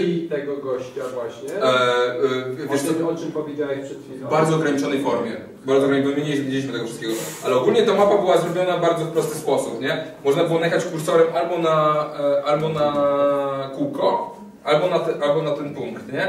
I tu się jakby się wyświetlała informacja o nieruchomości, czy o osobie, a tu się wyświetlała natura kontaktu między tymi osobami, nie? I jakbyśmy to odpalili, to trochę, że tak powiem, no, nie, nie, ani nie poinformowaliśmy mediów, że to odpalimy specjalnie, znaczy jakby nie zrobiliśmy w ogóle takiego szumu, wrzuciliśmy to do internetu i po prostu, nie wiem, w ciągu tam kilku godzin to było wszędzie absolutnie, tak? Że to miało, nie wiem, nie pamiętam ile w sumie tam miało finalnie udostępnień, ale ten licznik chyba się zatrzymał gdzieś około 5 czy 6 tysięcy udostępnień na e, Facebooku, były share na Twitterze, no jakby wszyscy, wszyscy, wszyscy, wszyscy o tym gadali, ale ciągle to był temat tylko lokalny. Ciągle był temat tylko lokalny. I temat, ten temat e, w ogóle się nie przebijał do, e, do mainstreamu, nie? A dlaczego twoim zdaniem? Eee, bardzo dobre pytanie. Nie wiem do końca dlaczego. Bę- będę o tym pokazywać, będę to przekazywać dalej. Eee, ale tak jak mówiłem o tej pedofilii w kościele, to jest wyparcie. Znaczy, że nie jesteś, nie byliście, że to nie, że naprawdę jest ciężko uwierzyć w to, że ten cały syf, który widzimy na, w Polsce, te, ten zniszczony krajobraz, te zniszczone zabytki i tak dalej, to nie jest tylko i wyłącznie kwestia tego, że Polacy nie lubią zabytku, nie wiem, lubią żyć w sypie, ale że za tym zawsze stoi jakiś interes. Że jest korupcja, po prostu nie, jest ogromna po prostu korupcja w tym kraju i ta korupcja jest po prostu wszechogarniająca, tak? I to jest coś, z czym ja gadam z wami, nie wiem ile osób się zgadza ze mną, ale to jest coś takiego, co po prostu ludziom bardzo ciężko zaakceptować, że żyją w takim kraju. Że tak naprawdę ja oceniam Polskę bardziej jak taki kraj, nie wiem, południowe Włochy. No. To jest y, bardzo wiele wspólnych rzeczy, moim zdaniem bardzo jest wiele wspólnych rzeczy z południowymi Włochami z Polską. Może wybierają ludzie, bo nie widzą możliwości zmiany tego. Nie widzą możliwości zmiany i nie mają też świadomości często tego wszystkiego. I jest to też bombardowane taką propagandą tego mainstreamu, że no, że jak zacznie ktoś opowiadać o takich rzeczach, no to jesteś oszołomem, psychopatą, Tak, psycholem. Tak, dokładnie tak. I, I mainstream jest w stanie takie jakby poglądy no bardzo zglebować. No tak, tylko nam było ciężko przypiąć tą łatkę. No, ale tak? zobaczcie, co nam się przez cały czas y, wrzuca. Społeczeństwo nie ma wpływu na rządzących. No, Rządzący robią za każdym razem co chcą, a my możemy się tylko tam przyglądać. No. To oni mają poza mandat, oni mają Tak. mandat wyborczy. Tak, brak sprawczości, brak Tak. poczucia, że można faktycznie coś realnie zmienić. Nie? Jest referendum nie brane pod uwagę, bo jest za późno Tak. zrobione. Yy, Coś innego i tak dalej. Władze się zmieniają, ale system zostaje ten Tak. sam. I to jest 13 rok. To jest luty 2014. A wybory samorządowe w 14. Luz, listopadzie. I osoba na górze kolejną kadencję w Tak. cugrach. Kadencją, kadencji cugrach, słuchajcie, myśmy wtedy już wiedzieli, a myśmy się bali tego, tego wrzucać, to zresztą było, w- o tym było w mediach. Historia kamienicy na Krakowskiego 16. Że pan prezydent naszego miasta jest i rodzina najbliższa, no bo żon, mąż i córka jest beneficjentem działalności w gangu szmalcowników. Czy wyobrażacie sobie coś bardziej e, obrzydliwego, coś co powinno delegitymizować jakby działalność takiej osoby w mieście tak bardzo zniszczonym przez e, nazistów, że ktoś taki rządzi naszym krajem, nie? I ta historia wyszła tuż przed kampanią. W kampanii wyborczej tam wyszła ta historia w 2014 roku o, o, o, tej kamienicy. To małżonek pani Walt sobie Tak. sprywatyzował kamienicę, tak? Tak. Małżonek tam, e, tak, małż- małżonek z córką, bo to była rodzina, rodzina męża. Eee, I ona o tym doskonale wiedziała, nie? Ale znowu, no po prostu, nie no, to jest po prostu, to jest nie do uwierzenia, nie? W sensie to jest niemożliwe, nie? No, że to jest niemożliwe, żeby takie rzeczy działy się w, w kraju, który jest Europe, niby europejskim krajem, tak? Ale dlatego właśnie mówię o tym, że, że ten kraj przypomina bardziej południowe Włochy niż, e, niż cokolwiek innego, nie? Że... Janku, jak ty możesz mówić, że pani prezydent wiedziała? Przecież oni wtedy z mężem byli na urlopie zagranicznym i to tylko ich prawnik. Przecież ona to oficjalnie powiedziała przed kamerami. No, Że oni nie wiedzieli, nieprawda. To, a te półtora miliona, które się pojawiło na ich koncie, to po prostu nie wiadomo skąd, prawda? Jakby... Po ostatnim oświadczeniu majątkowym miała prawo nie zauważyć. No. Eee, więc, e, więc to była taka historia, nie? I zaczął się proces. Jak dostałem, jak dostałem, e, dostałem ten, jak dostałem pozew, to myślałem sobie, jest! Bo to było przed kampanią wyborczą i sobie pomyślałem, o kurde, ale on wtopił. Wtopił wizerunkowo, nie? W tym sensie, ja to po prostu zrobię z tego, zrobię, Polacy uwielbiają naczelników, nie? Polacy uwielbiają ofiary, tak? Ale mówiliśmy o tym, że brakowało w tej historii o reprywatyzacji brakowało I to ten deweloper, tak? e, z pięknym tytułem. Nie jestem mafioza. Jak ktoś coś takiego przeczyta, to ja co potem sobie pomyśli. Eee, eee, I wreszcie w tej historii pojawił się, pojawiła się twarz, nie? Pojawił się ka- Zma zmaterializował się. Tak, pojawił się wreszcie opresor. Podobny do Kurczyka. No. I to on wniósł ten pozew, tak? Tak.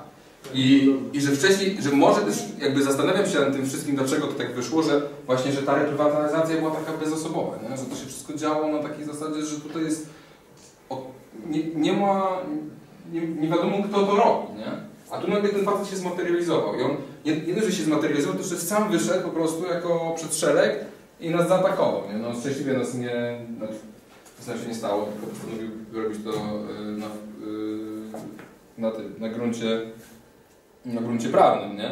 Ale e, nas pozwał i wtedy sobie pomyślałem, Boże, naprawdę, znaczy, e, to jest super sprawa. No i faktycznie, to było tak, że znowu cały czas, e, cały czas byliśmy w mediach, nie? Cały czas, e, cały czas, e, ale mówię cały czas o lokalnych mediach, tak? Ale nas, czyli Stowarzyszenie No. No tak, no chociaż ja byłem pozwanym, tak? Ja byłem jedyną osobą, która na koniec została na tej e, ławie oskarżonej. I, I w pierwszej instancji przegrałem. Eee, w pierwszej instancji eee, sąd wydał wyrok, który ja po prostu nie byłem w stanie uwierzyć, że jest sąd w stanie wydać taki wyrok. Że za, cytuję niemalże, sędzia w pustym uzasadnieniu mówiła tak, no ja, e, ja pokazałem tą mapę paru moim koleżankom i one wszystkie spojrzały na tą mapę i one uznały, że to, że to jest mapa powiązań mafijnych. I że ta mapa, że samo jakby uporządkowanie tego w taki sposób, to to już narzuca interpretację. No ale dobrze koleżanki powiedziały, to jest mapa powiązań mafijnych.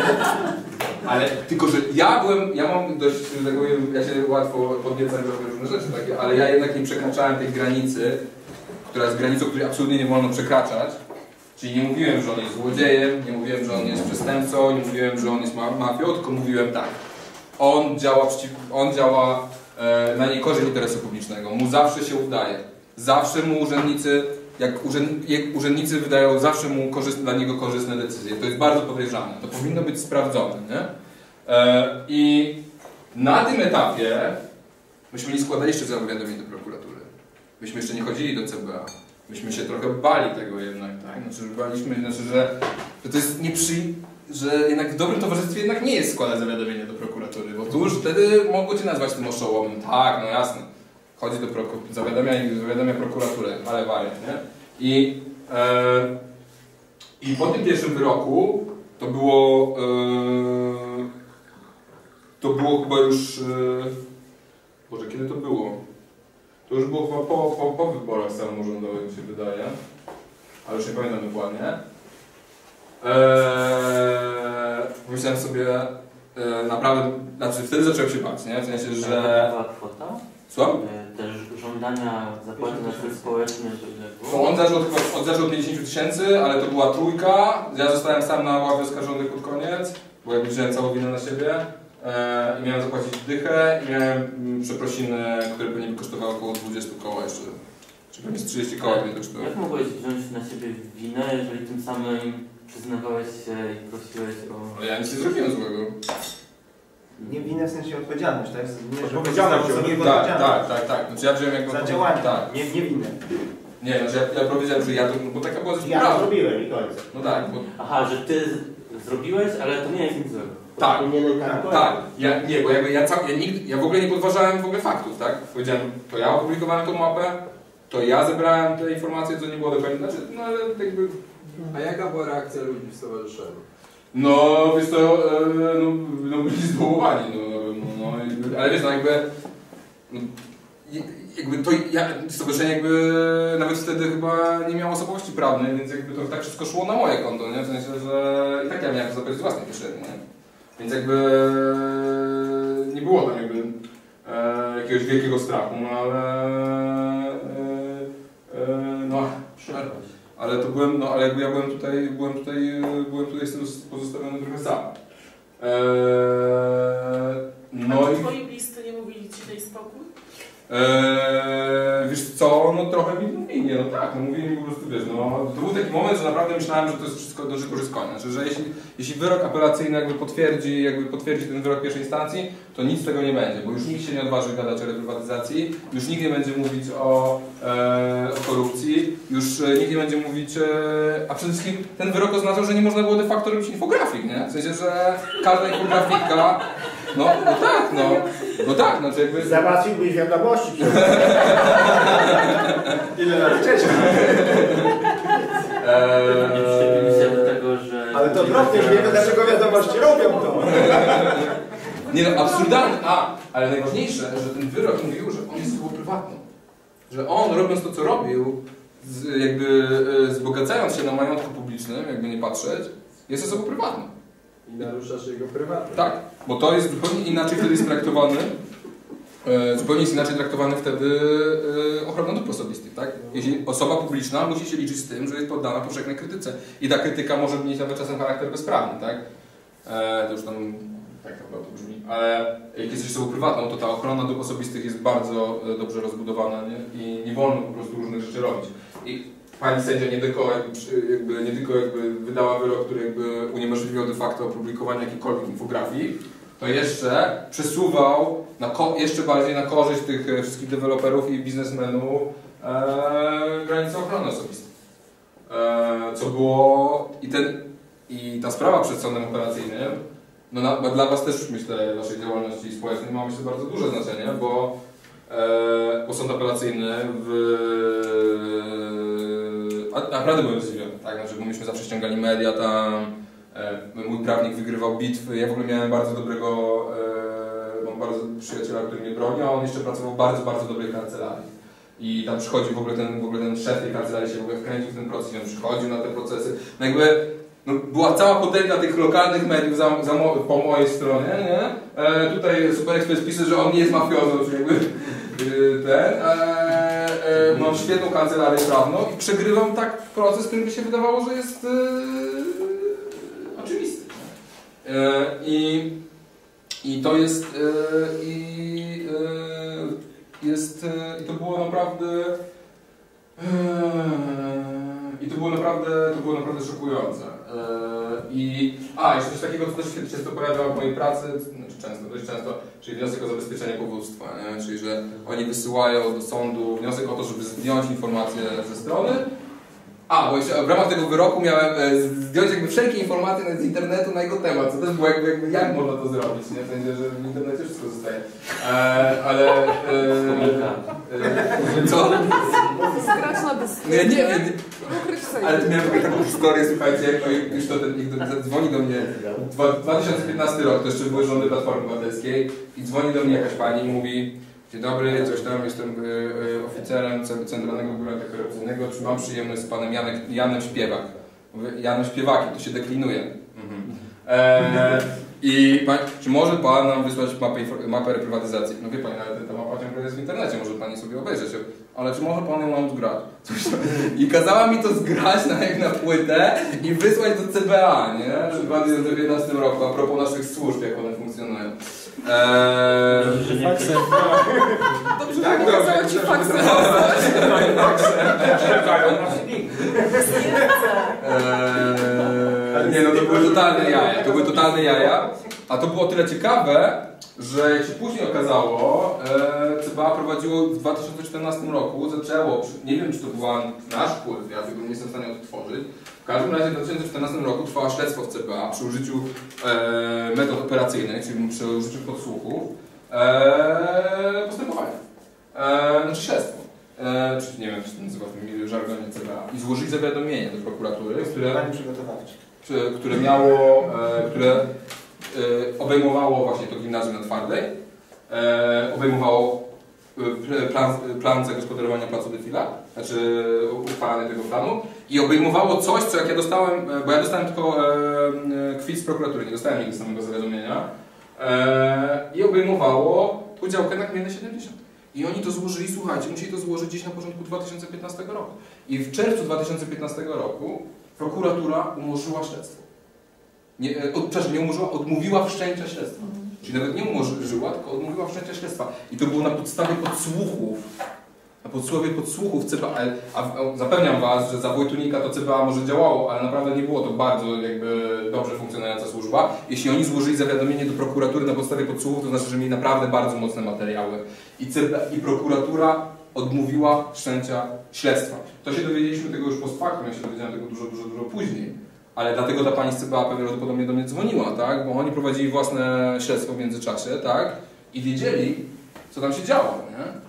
I, e, a, To w sumie CBA chciało zadziałać, a prokuratura Tak. odmówiła im tak, y, ukręciła normalnie. Tak? ukręciła sprawę. Tak samo jak ukręciła sprawę Jolanty Brzeskiej. Prokuratura przez dwa lata prowadziła sprawę pod kątem samobójstwa. Że ona sama się Tak. wywiozła do lasu Ona się podpaliła i powiesiła. Tak, tak. Zgodnie z... Ale posprzątałam e, kanister i zapalniczkę. Tak. oblała się benzyną, podpaliła, I powiesiła i jeszcze posprzątała miejsce. Tak, nie no, po prostu full service, nie? Eee, I to jest coś takiego, co wchodzisz w ten świat tego eee, i, i, naprawdę nie możesz uwierzyć w te wszystkie rzeczy, nie? Eee, A przepraszam, jeszcze spytam o tą panią Jolantę. To ona zajmowała się tym przed wami? Czy dlaczego? no można powiedzieć, że tak. Znaczy, ja, ja w ogóle, jak ja sobie zastanawiam się, ja w ogóle jakoś w mojej świadomości Jolanta Brzeska tak naprawdę wyszła niedawno tak naprawdę, tak? Że, że ja też byłem jedną z tych osób, które pewnie gdzieś tam usłyszało o tej Jolancie Brzeskiej, ale jakby, wiesz, jakby nie do końca. Dużo o niej mówił Piotr Nikolowicz. No tak, ale to, nie, to jakoś nie było w stanie się przebić, nie? Znaczy, te ruchy, no to niektórzy tam działali, nawet była taka akcja, że malowali graffiti, graffiti na Tak. murach z jej wizerunkiem. Tak, nie? tak, tak, tak. Ale ona, ona zakładała to Warszawskie Stowarzyszenie Lokatorów. Ona była jedną z tych działaczy, które, e, które organizowała ludzi, nie? I ona działa i prawdopodobnie dzisiaj po prostu wysłać wszystkim sygnał, tak? Odpierdolcie się, tak? Od, od nas, tak? Ale pewnie wiadomo prawdopodobnie kto mógł to zlecić. Nie wiem, nie znali co No, ja wiadomo kto zabił, no moim zdaniem to nie przeszedł sobie wodę. Przypadkiem spacerowałem. Tak. Też akurat przypadkiem nie. Nie, no, E, Ja o ten e, sąd apelacyjny chciał dopytać. no, i jakby sprawa trafiła do sądu No operacyjnego. tu jesteś, a nie w więzieniu, więc... A nie, to cybi... A, bo, bo tak. Są, Nie, bo są dwie, nie lesie, są dwie formy, tak? Jest w polskim prawie jeszcze jest coś takiego, co jest pa, pa, pa, e, mm, dziedzictwem komunizmu, można powiedzieć, czyli paragraf 212 kodeksu karnego. Czyli e, można, że, że oni zawsze, jak ci deweloper ci pozywa, to zawsze robi dwie rzeczy, tak? Pozywa cię z cywilnie i pozywa cię z kodeksu karnego, gdzie możesz dostać grzywnę i możesz dostać karę więzienia w teorii. To jest chyba zagrożone rokiem więzienia. E, I, e, I dla nich to jest jak prysz, tak?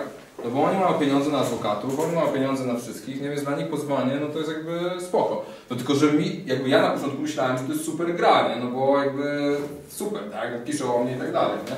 I e, sprawa karna się skończyła, e, sprawa karna się skończyła szybko, e, bo też jest trudniej jakby w tym postępowaniu karnym, e, to on musi udowodnić, to jest, jeśli dobrze, już nie chcę, nie chcę was prowadzić w błąd, nie wiem czy są prawnicy wśród nas, ale No, Eee, w sprawie karnej. Sprawie,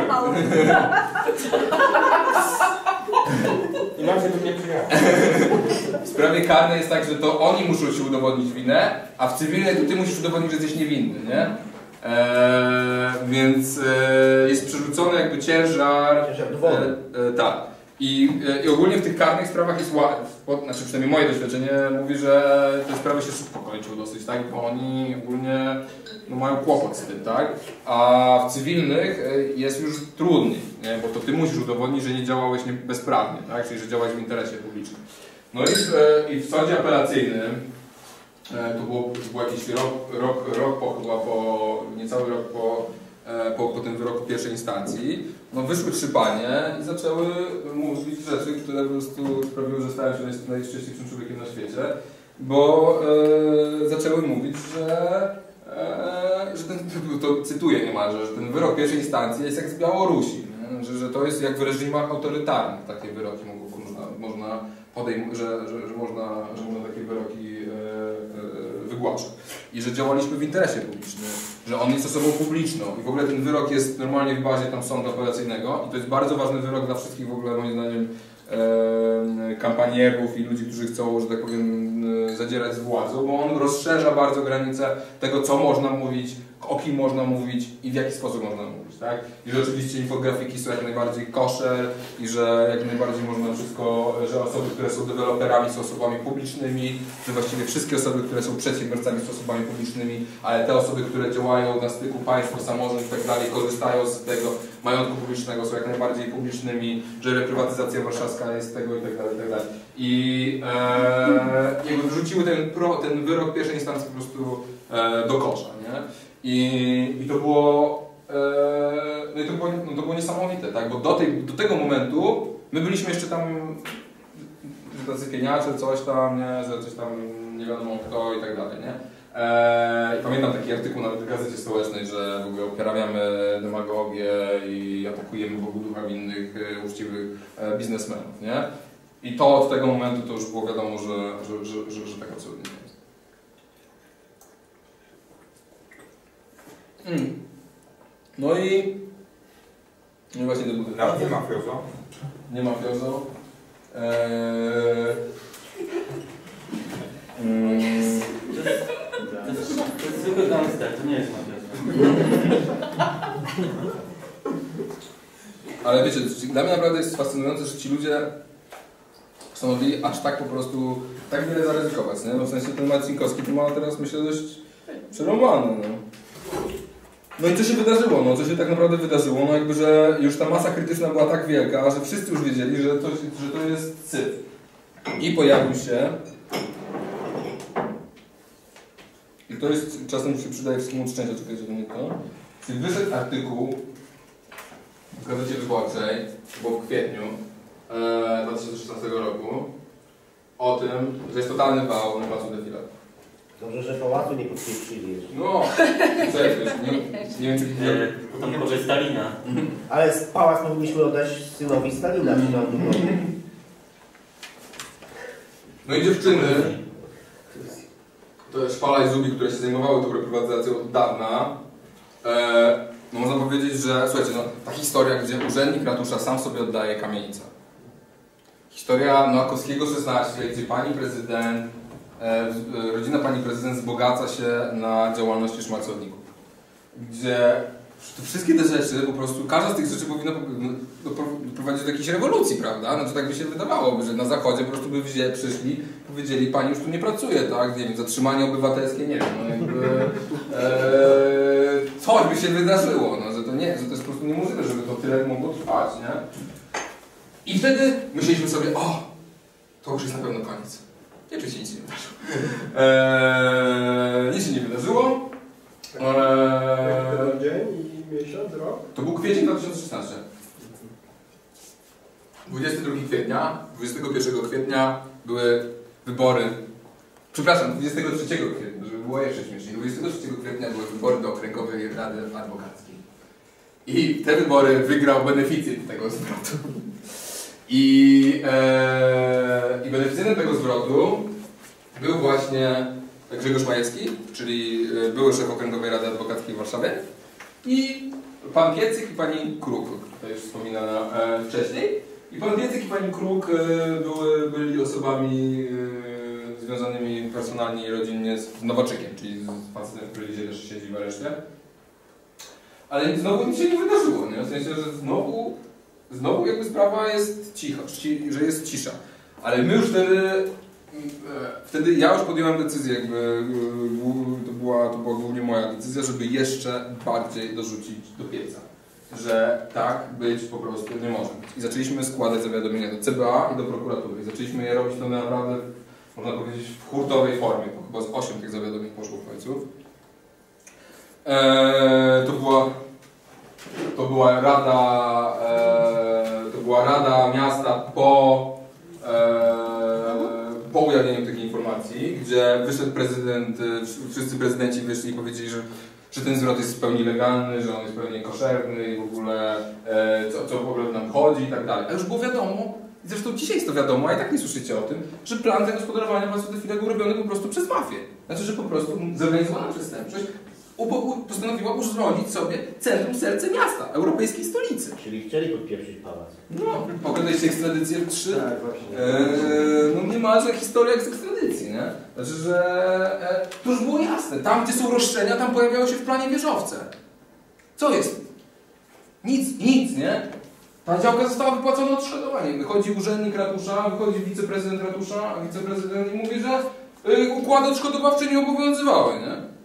I w ale już wtedy już wiedziałem, że już wtedy, trzeba być prawnikiem i pamiętam, że wyszedłem już tak przygotowany, nie? Bo te układy odszkodowawcze to nie jest jakaś wielka, nie wiadomo jaka materia, nie? One mają po cztery strony, jest, stoi w nich jak jasno. Byłeś obywatelem kraju, który podpisał umowę, w dniu wejścia umowy, koniec. Nie dostałeś kasy, twój problem, ale państwo polskie nie ma z tym już nic wspólnego. Te umowy komuniści umieli pisać prawo. I to państwo dużo lepiej funkcjonowało przy wszystkich swoich okropnych stronach niż trzecia RP. Tak samo jak dekret Bieruta był dobrym, dekret, to był dobrze napisanym dekretem, tak samo umowy odszkodowawcze, które podpisywało PRS z obywatelami państw zachodnich, były dobrze napisane. A były, gdzie oni się posługiwali ekspertyzami napisanymi przez profesorów prawa, gdzie było na 20 stronach, że wszystko, wszystko, wszystko, tak, tak, tak. I ostatnie zdanie, ale dekret Bieruta już nie obowiązuje tego, ta umowa. I oni po prostu, i to, i to jest po prostu niesamowite, jest cały aparat, cały biznes, gigantyczny biznes postawiony po to, żeby legalizować korupcję, żeby legalizować e, nieprawidłowości, żeby e, legalizować e, łamanie prawa. I uczestniczą w tym nie tylko pani profesor prawa Uniwersytetu Warszawskiego, pan Agrokiewicz ale dziesiątki innych profesorów, tak? Najlepsi adwokaci, szef Okręgowej Rady Adwokackiej. To też jądrem chyba mafii to była elita warszawskich adwokatów, co jest taką, no nie wiem, nie wiem jak to skomentować. Ja też nie wiem, jak to skomentować, ale powiem tak. Szef Okręgowej Rady Adwokackiej był beneficjentem tego zwrotu, a szefem sądu e, dyscyplinarnego był facet, który miał zarzuty za komisję majątkową kościelną. E, jakby, nie wiem, czy to jest jakby afera reprywatyzacyjna ma różne odnogi, nie ma w sensie ma tą odnogę e, warszawską, no ale oprócz tego jest też cała odnoga kościelna gigantyczna, gdzie też po prostu wały były niewiarygodne. E, I, i ten, ten rzecznik sądu dyscyplinarnego, czyli facet, który niby miał stać tam na straży tej etyki adwokackiej, e, poświadczył nieprawdę kilku, w kilku tam sprawach. Między innymi na Białołęce oddali kościołowi grunty, które były warte ćwierć miliarda za 30 milionów. Tak to wyglądało. No i tutaj e, to, jest, mm, to jest jedna z konferencji, na której złożyliśmy zawiad kolejne zawiadomienie do prokuratury. E, I i na podstawie zresztą tego zawiadomienia no potem jakby aresztowali Nowaczyka i, e, i Rudnickiego. A to był taki wywiad, za który jak już zastanawiałem się, i to był taki flauta nastąpiła. To było w kwietniu, złożyliśmy te zawiadomienia, a znowu się wydaje, że nic się nie dzieje. I wtedy, i wtedy, i wtedy użyłem właśnie, e, pierwszy raz użyłem tego, tego, tego, e, tego sformułowania afery prywatyzacyjnej. Tak? Znaczy, że już po prostu nic nam nie zostaje, że po prostu, e, że trzeba po prostu jeszcze bardziej dorzucić e, do pieca, nie? I to się pojawiło w dzienniku gazety, gazecie prawnej. I tutaj nie mam tego slajdu, ale w sierpniu, 20, 22 sierpnia Gazeta Wyborcza postanawia zaorać po prostu i na pierwszej stronie Gazety Wyborczej pojawia się artykuł, e, czyli, czyli ponad miesiąc później pojawia się artykuł o Układzie Warszawskim, gdzie jest opisane wiele innych historii e, związanych właśnie z Rudnickim i z Nowaczykiem i może dzięki temu, że to było koniec wakacji, może dlatego, że była trochę nie było o czym innym gadać, może dlatego, że myśmy przepracowali bardzo, bardzo intensywnie poprzednie 4 miesiące, nie wiem, ale po prostu wszyscy nagle zaczynają gadać o reprywatyzacji. I afera reprywatyzacyjna zdominuje polską, e, polską, e, polską debatę publiczną przez cały sierpień, cały wrzesień, aż do listopada. Potem się już inne rzeczy zaczęły dziać z Trybunałem Konstytucyjnym i tym, tymi różnymi blokadami Sejmu, ale, ale przez dwa i pół miesiąca można powiedzieć, że, że afera reprywatyzacyjna była głównym tematem, jednym z głównych tematów, yy, interesowała się opinia publiczna. I Hanna Gronkiewicz-Waltz jest zmuszona, to też jest bardzo ciekawe, że ona została zmuszona do, do złożenia dymisji. Została zmuszona przez, ona jest z frakcji tuskowców tak zwanych, o, to jakaś siostra, tak, tak ona się pojawia. Eee, I występuje na konferencji prasowej z, z którzy ją zmuszają do tego, żeby, eee, żeby, żeby ta dwójka wiceprezydentów najbardziej umoczonych to eee, odeszła. Wyrzuca też wtedy Bajko, wyrzuca też jego zastępcę. A kilka miesięcy później aresztowanie. Aresztują właśnie Jakuba E. Rudnickiego, którego widzieliście na tamtej mapie. I to są areszty z, mojego zawiadomienia do prokuratury, w ogóle, jeśli można tak powiedzieć. E, jego rodziców e, i Roberta Nowaczyka. No i no oczywiście pytanie, co dalej? Bo ostatnio A jeszcze spytam, ale to nie rozumiem, że nie, nie, nie ma żadnej hipotezy, dlaczego to akurat wyskoczyło tego 23 sierpnia. No wajchę przełóż, no chyba, no jakby... Nie wiem, znaczy ktoś musiał w Gazecie Wyborczej podjąć decyzję, że już jest kur... te... Że już nie da się o tym nie pisać. Znaczy, że... że, że nie wiem, nie wiem jak to, nie wiem jak to się, nie wiem jak to się stało. Może oni e, chcieli ratować e, swoją wiarygodność jako kto to napisał? Napisały. kontakt? One napisały. Nie, nie, ten fizycznie osoba, redaktor, mieście kontakt, ten, No ten tak, artykuł... tak, tak, tak, tak, no ja tam byłem cytowany w ogóle. To, ta Zubik i Szpala, ta dwójka dziennikarek, to cały czas... Często się pojawiały Tak, one najpierw pracowały na lokalnych tematach i zostały wciągnięte do krajowych gazet. I nie wiem dlaczego, może właśnie Gazeta Wyborcza postanowiła ratować swoją wiarygodność. Może, y, może zwyciężyła po prostu zwykła elementarna uczciwość i przyzwoitość dziennikarska. Trzeba w to wierzyć. No bo ja rozumiem, że jeżeli oni go nie napisali, a, a nadawało go o tym, nie wiem, wiadomości czy TVP Info, to też uważasz, że byłaby wtedy taka zmiana, czy... Nie. Nie. Nie, to musiał zrobić ktoś z tamtego, z tamtej strony. Bo inaczej, y, ja pamiętam, słuchajcie, pamiętam jak ona była w maju, poszła do Piaseckiego, do, do, do RMF, to był RMF czy Radio Z jeszcze wtedy, nie pamiętam. I Konrad Piasecki, to było centralnie z dwa dni po tej Radzie Miasta, gdzie myśmy tam stali z tymi wałkami i ten. I ona, on prowadził z nią 15-minutową rozmowę i nie zapytał jednym zdaniem o aferę prywatyzacyjną, nie? I pisze tam na Twitterze, potem go tam cisnę, nie? Wiesz, dlaczego, dlaczego pan nie zapytał o, o, o, o aferę prywatyzacyjną? To jest główny temat, którym żyje, e, żyje Warszawa, tak? Czyli, czy ważny temat natomiast. Bo to sprawa lokalna. Nie? Bo to sprawa lokalna. Bo to była sprawa lokalna. No gówno, to nie była sprawa lokalna, to była ochrona po prostu układu, tak? Przed yy, uwaleniem. Oni doskonale wiedzieli przecież, kim jest Hanna Gronkiewicz-Waltz, tak? co ona ma na sumieniu i tak dalej. Ale mimo to, to, to wyparcie tego mainstreamu było niewiarygodne, tak? I e, zresztą e, ona sz- wyszła, ona chodziła, pamiętam, e, jak ona, ona była u, też w faktach po faktach chyba i mówi, a to jest normalna reprywatyzacja przecież. Przecież w Warszawie, no, to już było po, po, po tym kwietniowym artykule Gazety Stołecznej. To jest normalna reprywatyzacja, to wszystko jest okej.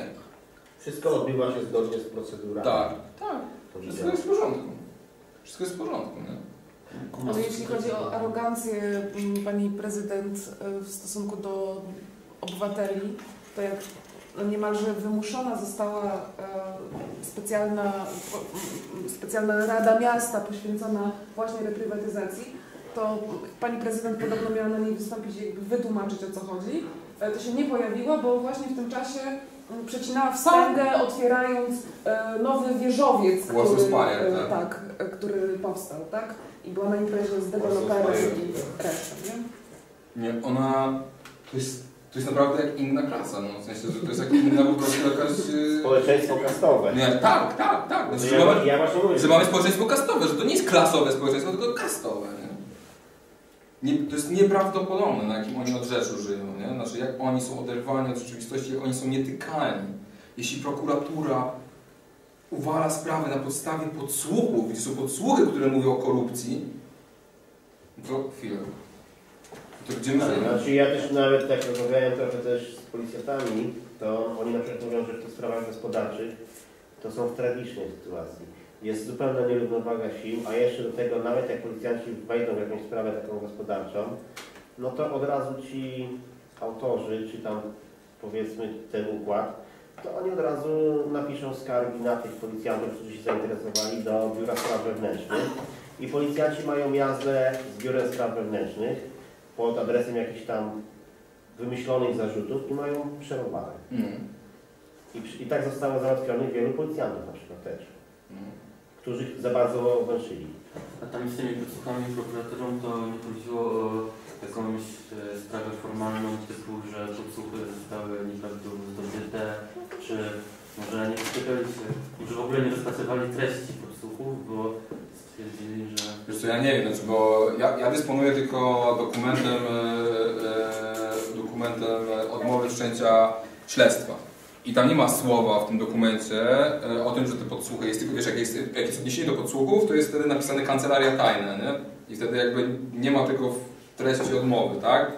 Ale masz normalnie, była na przykład opisana cała, bo, tam, bo ten był ten wątek, że oni tam płacili, pod, e, płacili łapówkę, e, okradając jakąś babkę, która dzie- odziedziczyła pensjon, która miała odziedziczyć pensjonat zakopany, nie? I tam jakby z tego uzasadnienia, tej odmowy wszczęcia śledztwa, ewidentnie wynikało, że jest wam. Bo to było tak, że oni yy, nie... Skomplikowana sprawa. Ogólnie chodziło o to, że Rudnicki miał połowę tej willi i Nowaczek miał połowę tej willi, ale kasy dostał prawie całość. Tak? No to, no to już samo w sobie powinno chyba wzbudzić jakieś wątpliwości czy pytania, tak? Już to jest dziwne. Eee, ale jakby nie. Mm, Poza tym, no ja nie wiem, znaczy ja nie znam do końca, nie, nie znam prawnych zasad, które regulują e, kwestie podsłuchów w Polsce. Ale nie wydaje mi się, czy to jest tak jak w Ameryce, że jak są... Nie, nie, nie, nie chcę to... Nie no, czyli zgodę na podsłuch, czyli Tak. jeżeli byłaby, chyba tak, jeżeli byłoby... Ale sądzie? Albo są, Jeżeli byłoby proceduralne, no to znaczy, że zgoda jakby też na, na założenie podsłuchu byłaby dana z uchybieniami proceduralnymi. Znaczy nie, bo Poza tym nikt by nie występował o... z- Tak, o Nikt by nie uzyskał zgody, gdyby... Jak to powiedzieć? On. Nie występowałby, gdyby nie... gdyby wiedział, że jej nie dostanie on, tak? Tak.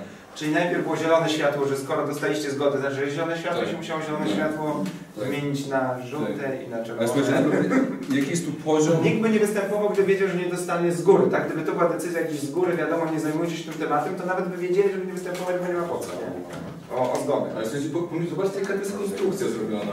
To jest Plac de Filat, nie? I tu, jest plan, tu był plan, obowiązywał w 2006, w 2006 roku czy 2005 roku Lech Kaczyński uchwalił plan, który przewidywał tu zabudowę w wysokości 30 metrów, czyli mniej więcej do wysokości, e, no do wysokości jakby tam sali kongresowej i tak dalej, nie? W ostatnich dniach pan Hanny Gronkiewicz-Waltz w 2010 roku na tych dwóch działkach wyrastają wieżowce, które mają być w wysokości Pałacu Kultury, nie?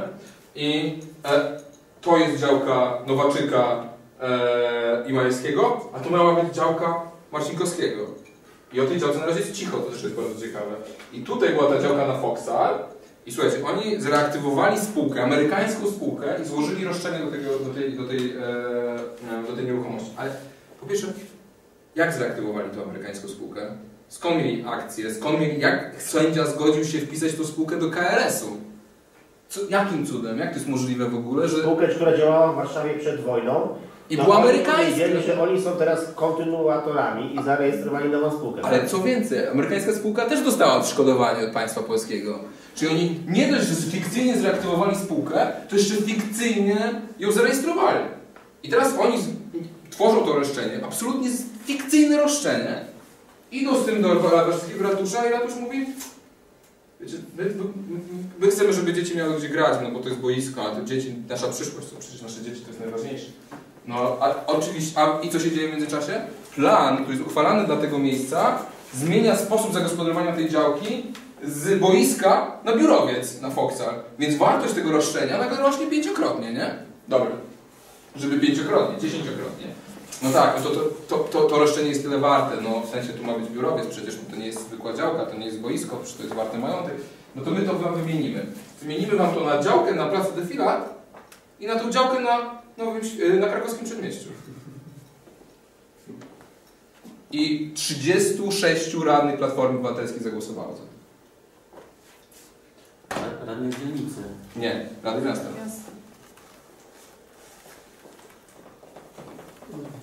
Że pomysł na zabudowę placu defilat wysokościowcami. Pamiętam swoją wizytę gdzieś 10-11 rok, y, nie wiem, Warszawa też się nazywa Miejska Pracownia Urbanistyczna? Mhm. Y, W Placu Kultury zresztą. To tam już było to taką jakby oficjalną wykładnią, że Plac Kultury ma zginąć wśród całej Tak. rzeszy wieżowców właśnie blisko postawionych. No jedyny problem jakiś taki techniczny, czy, czy, czy, czy podziemna linia kolejowa to wytrzyma, w sensie, czy na tym można budować. Nie? Wiesz co, no... Natomiast jakby No tak, bo tam jest, był- jest metro, nie? Przebiega. Y, Nie Nie, będę nie. y, Nie, nie, nie. tutaj- A, średnicowa, tak. Tak. Natomiast jakby wizja No, taka... a nie, no i tu jest metro, nie? Tu jest metro. Mhm. Wizja, że to ma być zabudowane taką wysoką zabudową, no to na pewno już w MPU 10-11 rok była jakaś Zmiana planu była w 2010. No to, to pewnie było. Ale też, e, ro, ro, ale też e, najpierw były roszczenia, potem była zmiana planu, tak? Więc oni nawet zakładając, że okej, my chcemy tam wybudować wieżowce, no to kto się zachowuje w ten sposób, że zwiększa najpierw wartość roszczenia w sposób dziesięciokrotny, zapisami planu, który umożliwia budowę wieżowca. Najpierw powinni wykupić te działki, nie? Po najniższej możliwej cenie, a potem sobie się bawić w zabudowę tego tym, nie? W sensie, nawet jakby to miało... Znaczy, dla mnie budowa wieżowców z tej strony jest po prostu takim nie wiem, widzieliście, to są bardzo małe działki tak naprawdę, nie? W sensie to jest jakiś absurd wszystko, nie? Żeby to zabudowywać e, wieżowcami, szczególnie... że- Paradoks jest taki, że jak przez firmę otworzy gdziekolwiek, to musi zabezpieczyć miejsca parkingowe, straty pierdaty, A, to- przejazdy i tak dalej. No ja, budujesz, budujesz dwa wielkie wieżowce bez żadnego miejsca parkingowego jest gitara. ale miejsca parkingowe się znajdą. Po co się buduje Muzeum Sztuki Nowoczesnej, kolego? Muzeum Sztuki Nowoczesnej buduje się po to, bo pod spodem jest gigantyczny parking na 3000 miejsc. Nikt nie wie dlaczego na tyle miejsc. Potem się stało jasne dlaczego na tyle miejsc. Bo oni po prostu musieli mieć gdzieś te miejsca parkingowe.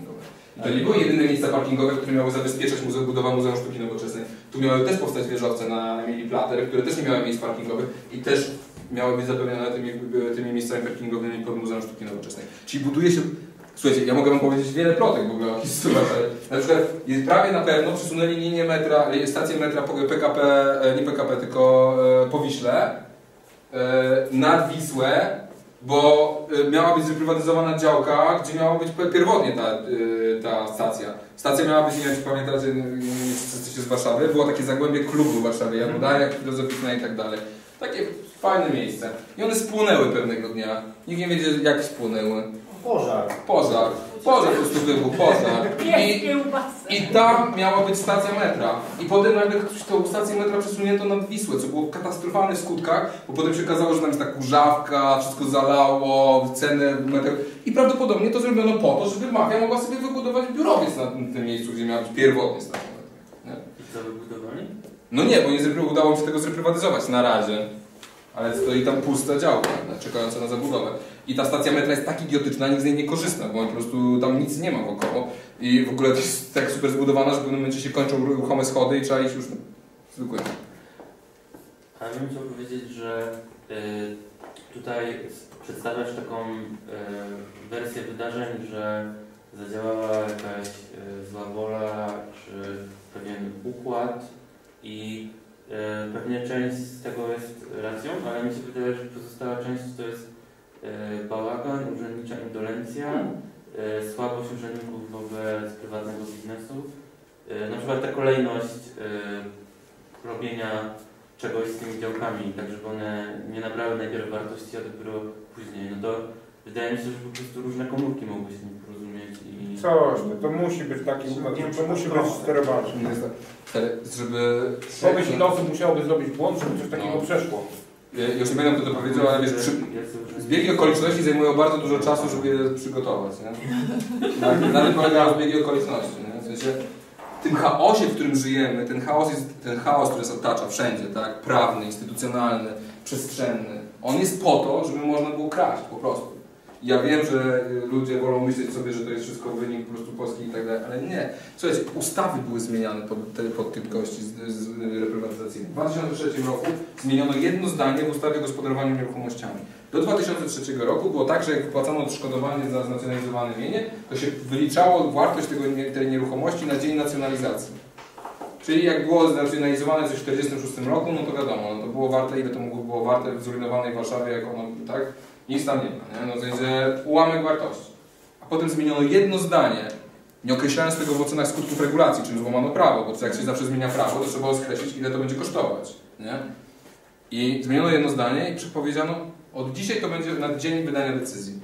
I nagle ta sama decyzja Tysiące razy. no nie wiem, no, wyobraź sobie, ile jest warta nieruchomość przy metrze, gdzie państwo i ty włożyłeś 70 lat e, e, podatku, wybudowałeś metro, odgruzowałeś, wywiozłeś trupy, a e, ile to jest warte teraz?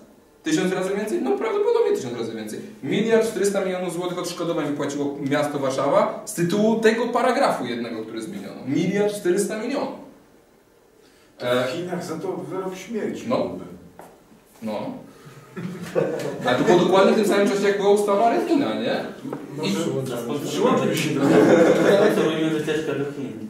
Znaczy, e, I w tym samym czasie, kiedy ustawiano ustawę nie, Rewina, gdzie po prostu wyszło na jaw, ile to kosztuje, tak? I gdzie jak to się robi, w tym samym czasie zmieniano inne ustawy, nie? I w przypadku, e, w przypadku reprywatyzacji to jest, e, to jest po prostu niebywałe. no. To jest niebywałe, co się działo. I e, ja chciałem, żeby powstała e, komisja śledcza. E, Powstała komisja e, weryfikacyjna i ja jestem za tym, żeby takie rzeczy, żeby to się powstało. Ale po prostu skala bezprawia jest yy, nieprawdopodobna. No, tylko, że różnica jest taka, że na szczęście tutaj nie strzelają, nie zabijają ludzi, tak? Yy, jak na Ukrainie na przykład, tak? Czy we Włoszech Południowych. Że jednak wszystko to się odbywa bardziej na miękko, tak? Ale...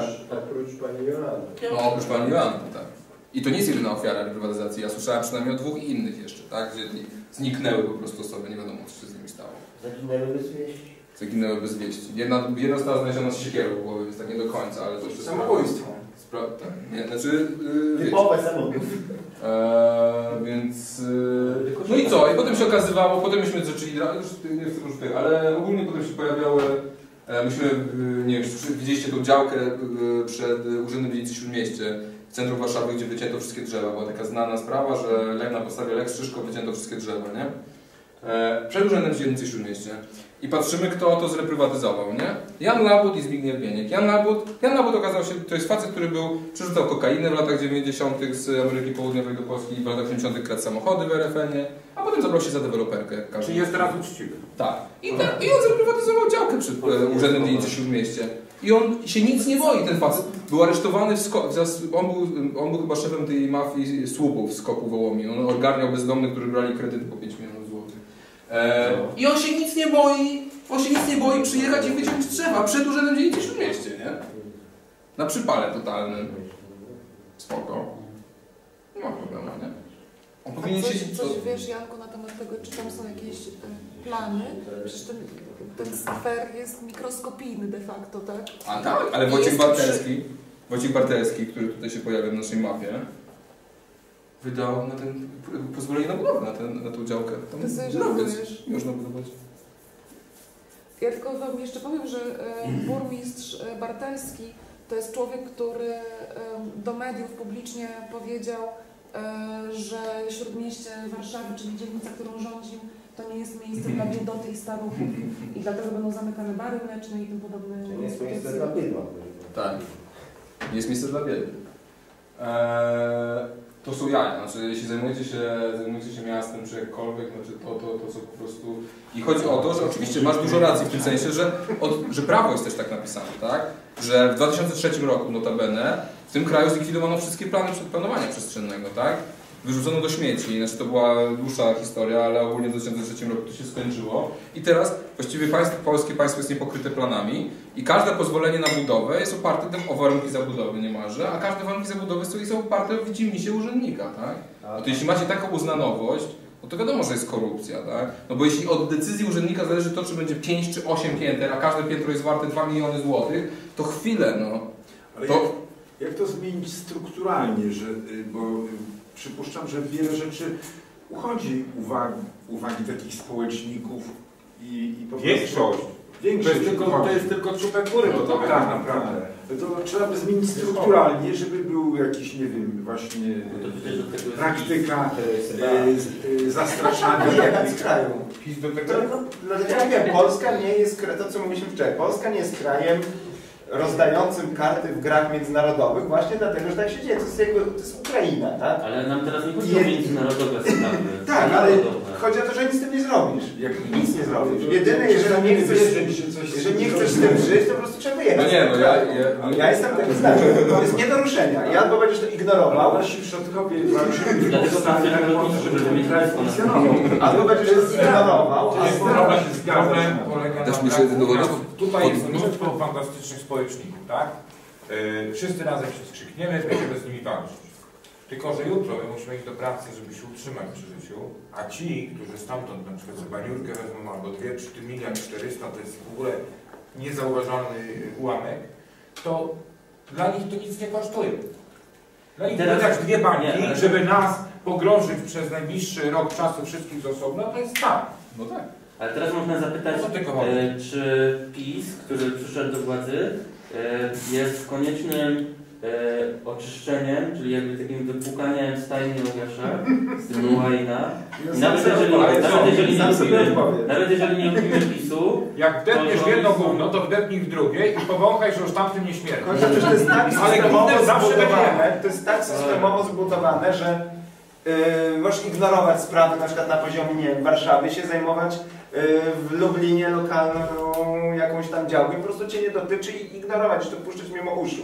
Znaczy, żebyśmy, znaczy, korupcja jest wszędzie, tak? W sensie na zachodzie też jest korupcja. Yy, Fajnie, że się ktoś Eee. zajmuje tym w Warszawie, pewnie można by było takie Bydgoszczy nawet. gdzie indziej zrobić, nie? No bo we Francji była rewolucja francuska, nie?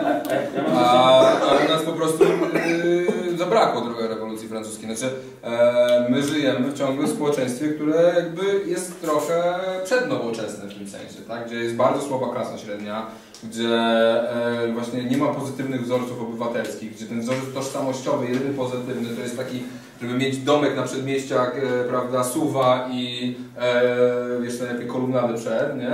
I, I to jest jedyny pozytywny wzorzec, nie? Przebierać się co, co, co, co tam co trzy miesiące, nie wiem, y, robić tam, nie wiem, udawać sarmatę i, i to jest problem, tak? I to jest ogromny problem, nie? że właśnie, że, że, że brak jest tej kontroli obywatelskiej, że brak jest, że na zachodzie też jest korupcja, też jest syf, też jest dużo takich rzeczy, ale tam jednak pewne rzeczy nie przechodzą, e, bo tam po prostu ludzie się na to nie zgadzają. Tam nie ma zgody na to. Wypowiedzieć wojnę Niemcom i się poddać. Czechom. No chodź, To też jest korupcja. Zachowanie Właśnie. prawa języka. Bo jeśli chodzi o reprywatyzację, to ja w Poznaniu słyszę głównie o takich sprawach związanych z kościołem i jakoś tak o prywatnych właścicielach nie za bardzo. I wiem, że, wiem, że w Warszawie był ten dekret Bieruta, ale przecież komuna była wszędzie. Ale I u nas kościół wszystko nas- zapierdolił, więc nie ma już. na Tam już No tak, ale, Nie ma już co prywatyzować. ale przecież w innych, w innych miastach też musiała być jakaś nacjonalizacja. E, wiesz co, znaczy ja do końca nie wiem, znaczy jak to było, ja, jestem, ja wiem to dokładnie jak to było w Warszawie, ale na przykład w Poznaniu Malta. wydaje mi się, że nie było w ogóle nacjonalizacji, tylko był obowiązkowy kwaterunek, nie? Czyli, że to nie było tak, że ci zabierali kamienicę, tylko, że ci wrzucali do tej kamienicy ludzi. I ty musiałeś ich tam utrzymywać. I to jednak zmienia radykalnie jednak wszystko, tak?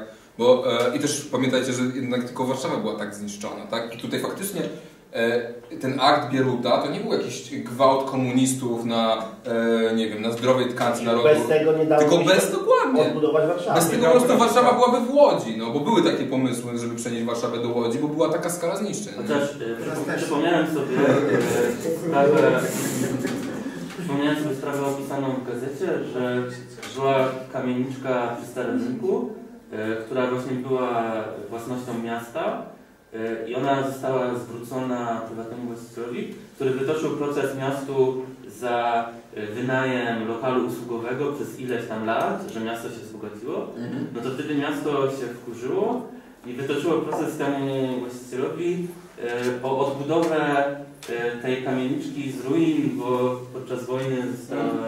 No i świetnie załatwiona sprawa. I następny, który by chciał tak zrobić, już będzie się zastanawiał. No. No, to właśnie jak to czytałem też... No tylko wiecie, ja na przykład zaczynam czytać ten dekret Bieruta, nie? I jakby jak zaczynam czytać ten dekret Bieruta literalnie, to nagle wychodzi, że nie ma w ogóle możliwości, żeby oddawać nieruchomości, które były zburzone. W ogóle. A jakoś tak się dzieje w Warszawie, że po prostu oddaje się wszystko, po prostu jak leci, tak? I oddaje się nawet, słuchajcie, oddaje się budynki i grunty yy, yy, pod budynkami, które zostały wybudowane w latach 50. i 60. Szkoły. Szkoły wybudowane, no tak jak tak, to gimnazjum na twardym. Budynki, które nie istniały, były Yy, ściany, tak. był adres, tak, Tak, własność było. i dwie ściany. Na Mariensztacie- No jest, Mariensztat budynek jest działka, jest własność, Tak, ma 70 lat utrzymane, odbudowane. Znaczy, jeżeli właśnie trochę demagogicznie pójdziemy, to odszkodowanie powinien wypłacać ten, kto zburzył, czyli Niemcy. No, wiadomo. Znaczy, no. to nie jest demagogia, to jest prawda. No, no tak. I w którzy nie Warszawie pomogli. jeszcze jest taki, em, nie wiem jak to nazwać, jest tendencja do tego, że w momencie, kiedy e, jest zgłoszone ro- roszczenie, jeśli chodzi na przykład o budynki mieszkalne, to po zgłoszeniu roszczenia, nim e, zapadnie decyzja o zwrocie, e, to miasto robi generalny remont takiego budynku, tak? łącznie z wymianą dachu, Nagle. e, przypadek kamienicy na Narbuta, Tak. która zresztą została, e, sąd uznał roszczenie, kamienica została zwrócona na podstawie umowy kupna-sprzedaży z 1947 roku. Niech ktoś mi wyjaśni, na jakiej zasadzie po dekrecie Bieruta w 1947 roku ktokolwiek mógł jakąkolwiek umowę kupna-sprzedaży na nieruchomość zawrzeć w tym mieście. Tak, Ale sąd uznaje, że to jest autentyczny dokument i zwrot się należy. No to się Rok wcześniej wykonany generalny nabywcy czy remont sprzedawcy kamienicy. No.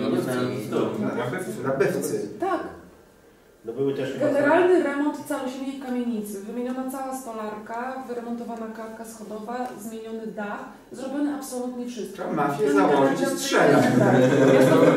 Ja w takiej sytuacji po prostu tak, bo potem po prostu założyć RAF e, Warszawy, Gumowymi, no e, gumowymi A na są jakieś a są wyroki jakieś skazujące takich tych No właśnie. Nie, to są, to są, popie- to są pierwsi, to są pierwsi aresztowani. Jeszcze nie ma- Siedzą To pójdzie jest dalej jeszcze. Fałszywy. No co? Nie Pójdzie dalej.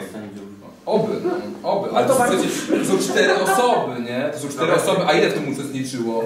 100? 150? 200? A To są takie, to są takie liczby, tak? i się reszta czuje bezkarnie. No, oczywiście. Ale, słuchajcie, ale nawet jeśli oni dostaną wyroki. Ja oglądam, oby, znaczy, y, y, jest świetny reportaż, gdzie właśnie y, występuje ojciec tego Jakuba Rudnickiego, to jeszcze było zanim go aresztowali i, tak, i, on, i ten facet pyta, no i co teraz będzie z pana synem? No nic, pewnie pójdzie do więzienia. Tak na takim casualu. Pewnie po- Czy oni ten wyrok już mają w założeniu, że on prawdopodobnie pójdzie siedzieć, tak? Że on prawdopodobnie, ile on może dostać? 5 lat? 4 lata? Wyjdzie po dwóch latach? Wyjdzie po trzech latach? Ile on zarobił? Ile pieniędzy z tego wyprowadzono jaki z tego będzie, po prostu nie dać się złapać, a nie nie robić takich rzeczy. No tak. I jeszcze Plus- jakby mamy tak słabe zaufanie do instytucji państwowych, że i, i, a jednocześnie pęd do władzy we wszelkich wyborach, który jest mechanizmem zarobienia. Czyli jadę tam, y, dostaję się tam nie zmieniać, tylko się nachapać, Tak. przechapać szybko, Jak- to są tylko 4 lata, tak. Tak. Nie wiadomo co będzie potem. Tak. Wprowadzi jakaś partia y, dwukadencyjność. Mamy tak słabe jakby planowanie polityczne, że każdy, kto już jest po tej stronie władzy, to wie, że to jest jego 5 minut i za chwilę może już nie Tak. mieć 10 minut. Więc te 5 minut się najpierw no, tam bliższa koszula ciała. Najpierw sam się nachapać, on rodzinę i potem może w czwartym pokoleniu będzie myślał dla dobra wspólnego, Ale tak? ja też słyszałem, że jak, jak ja, y, to jest takie właśnie zawsze pół żartem, pół serio. A jak ty będziesz w tym ratuszu, to mi też załatw kamienicę, nie? No. I jakby, nie, jakby... Ja nie potrafię, żart, żart, ale gdzieś tam, gdzieś tam jednak jest y, to myślenie, że samemu też, jak na był na tym miejscu, też bym samemu się nachapał, nie? Bo ryzyko jest żadne praktycznie, a można się ustawić po prostu na całe życie. E, tak. Plus e, rynek nieruchomościowy jest o tyle e, ist, e, jakby ważny dla, dla jest- jest jakby uatrakcyjnia jakby tą działalność mafijną, no bo macie coś takiego jak rynkowie ksiąg wieczystych, nie? Czyli że jeśli sprzedacie raz już nieruchomość, no to już jest bardzo ciężko komukolwiek ją odzyskać, nie? I to nie jest tak jak z, samochodem kradzionym, że jak was zła, z, kupicie w dobrej wierze samochód kradziony, to wam go zabiorą, jakby zostaniecie złapani, nie? Tutaj jest zupełnie inaczej. Tutaj bardzo trzeba, bardzo trudny, w bardzo trudny sposób e, jest udowadnianie. I dlatego PiS teraz wprowadza zresztą to, co się dzieje, co zrobiono we Włoszech, czyli tą konfiskatę rozszerzoną, nie? Czyli, że będzie można e, konfiskować majątek e, całej rodziny, nie? I, to jest, I to jest, to jest normalnie we Włoszech to było wprowadzone, bo oni sobie po prostu nie dawali rady z mafią, nie? że mafia po prostu wyprowadzała pieniądze i musieli ich uderzyć po kieszeni. No i to zostało wprowadzone we Włoszech i miejmy nadzieję, że zostanie wprowadzone Ale e, w życie, w życie. Weszło życie. No ale umówmy się, no e, ja, ja niespecjalnie wierzę, tak, że PiS e, cokolwiek z tym zrobi, nie? W sensie, że oni, że to państwo jest naprawdę tak zgniłe, że nawet gdyby tam byli nauczciwsi ludzie, nawet gdybym ja pewnie siedział na ich miejscu, to i też bym miał pewnie taki opór materii. To jest tak skomplikowane, to wszystko jest tak zagmatwane, to jest 7 razy przewalone. Znaczy to nie robią jakieś tam karki, bandziory, No nie. tylko zauważ, że to robią najlepsi prawnicy, No tak, no są w Warszawie. Najlepsi prawnicy w. Warszawie stoją. Adwokaci z długoletnim stażem, z wielkim No tutaj renomą, nie? Matka, matka tutaj jeszcze ten, tutaj już polecę już zupełnie, ale e, to wszystko, to jest wszystko jest układ postkomunistyczny. Nie? Znaczy, że to jest jasne, że ci ludzie e, są w dużej stopniu, to, że to są ludzie po prostu byłych służb wojskowych. Tak? Znaczy, że to są ludzie, którzy wyszli z pewnymi umiejętnościami, z pewnymi znajomościami itd. Rodzice Jakuba Rudnickiego, którzy też zostali aresztowani razem z nimi. Matka Jakuba Rudnickiego to była laska, która była, e, obroń, która była krewną i obrończynią ge- generała Ciastonia, czyli e, tego faceta, co wydał wyrok na księdza Popiełuszkę. E, a e, ojciec Rudnickiego to był minister zdrowia w rządzie Marka Belki, likwidator MSW Prasa, też aparatczyk, e, z bardzo wysoki urzędnik państwowy, też w jakimś tam e, i tak dalej, nie? E, oni wszyscy, wszyscy e, tak samo się znają. Wszyscy się znają, tak samo, tak samo Marcinkowski, tak? To nie jest przypadek, że on jest znajomy z Kwaśniewskim, to nie jest przypadek, że zakładał firmy polonijne, nie? Ja mieszkam w kamienicy, obok mojej kamienicy, kamieni, e, kamienicę obok od, odzyskał generał Robełek, nie? Generał Ludowego Wojska Polskiego, który dwa lata skończony kurs w Akademii Woroszłowa i nagle okazuje się, że ma cztery kamienice w Warszawie, nie? No bo ją wezwałem. Jak w Monopolii. Naprawdę tak, no. Zamienia na hotel. No to jest dobry pomysł, żeby zrobić taką warszawską grę. E, Ja robię, ja robię, zrobiłem już raz i na pewno zrobię... Monopol warszawski. Nie ma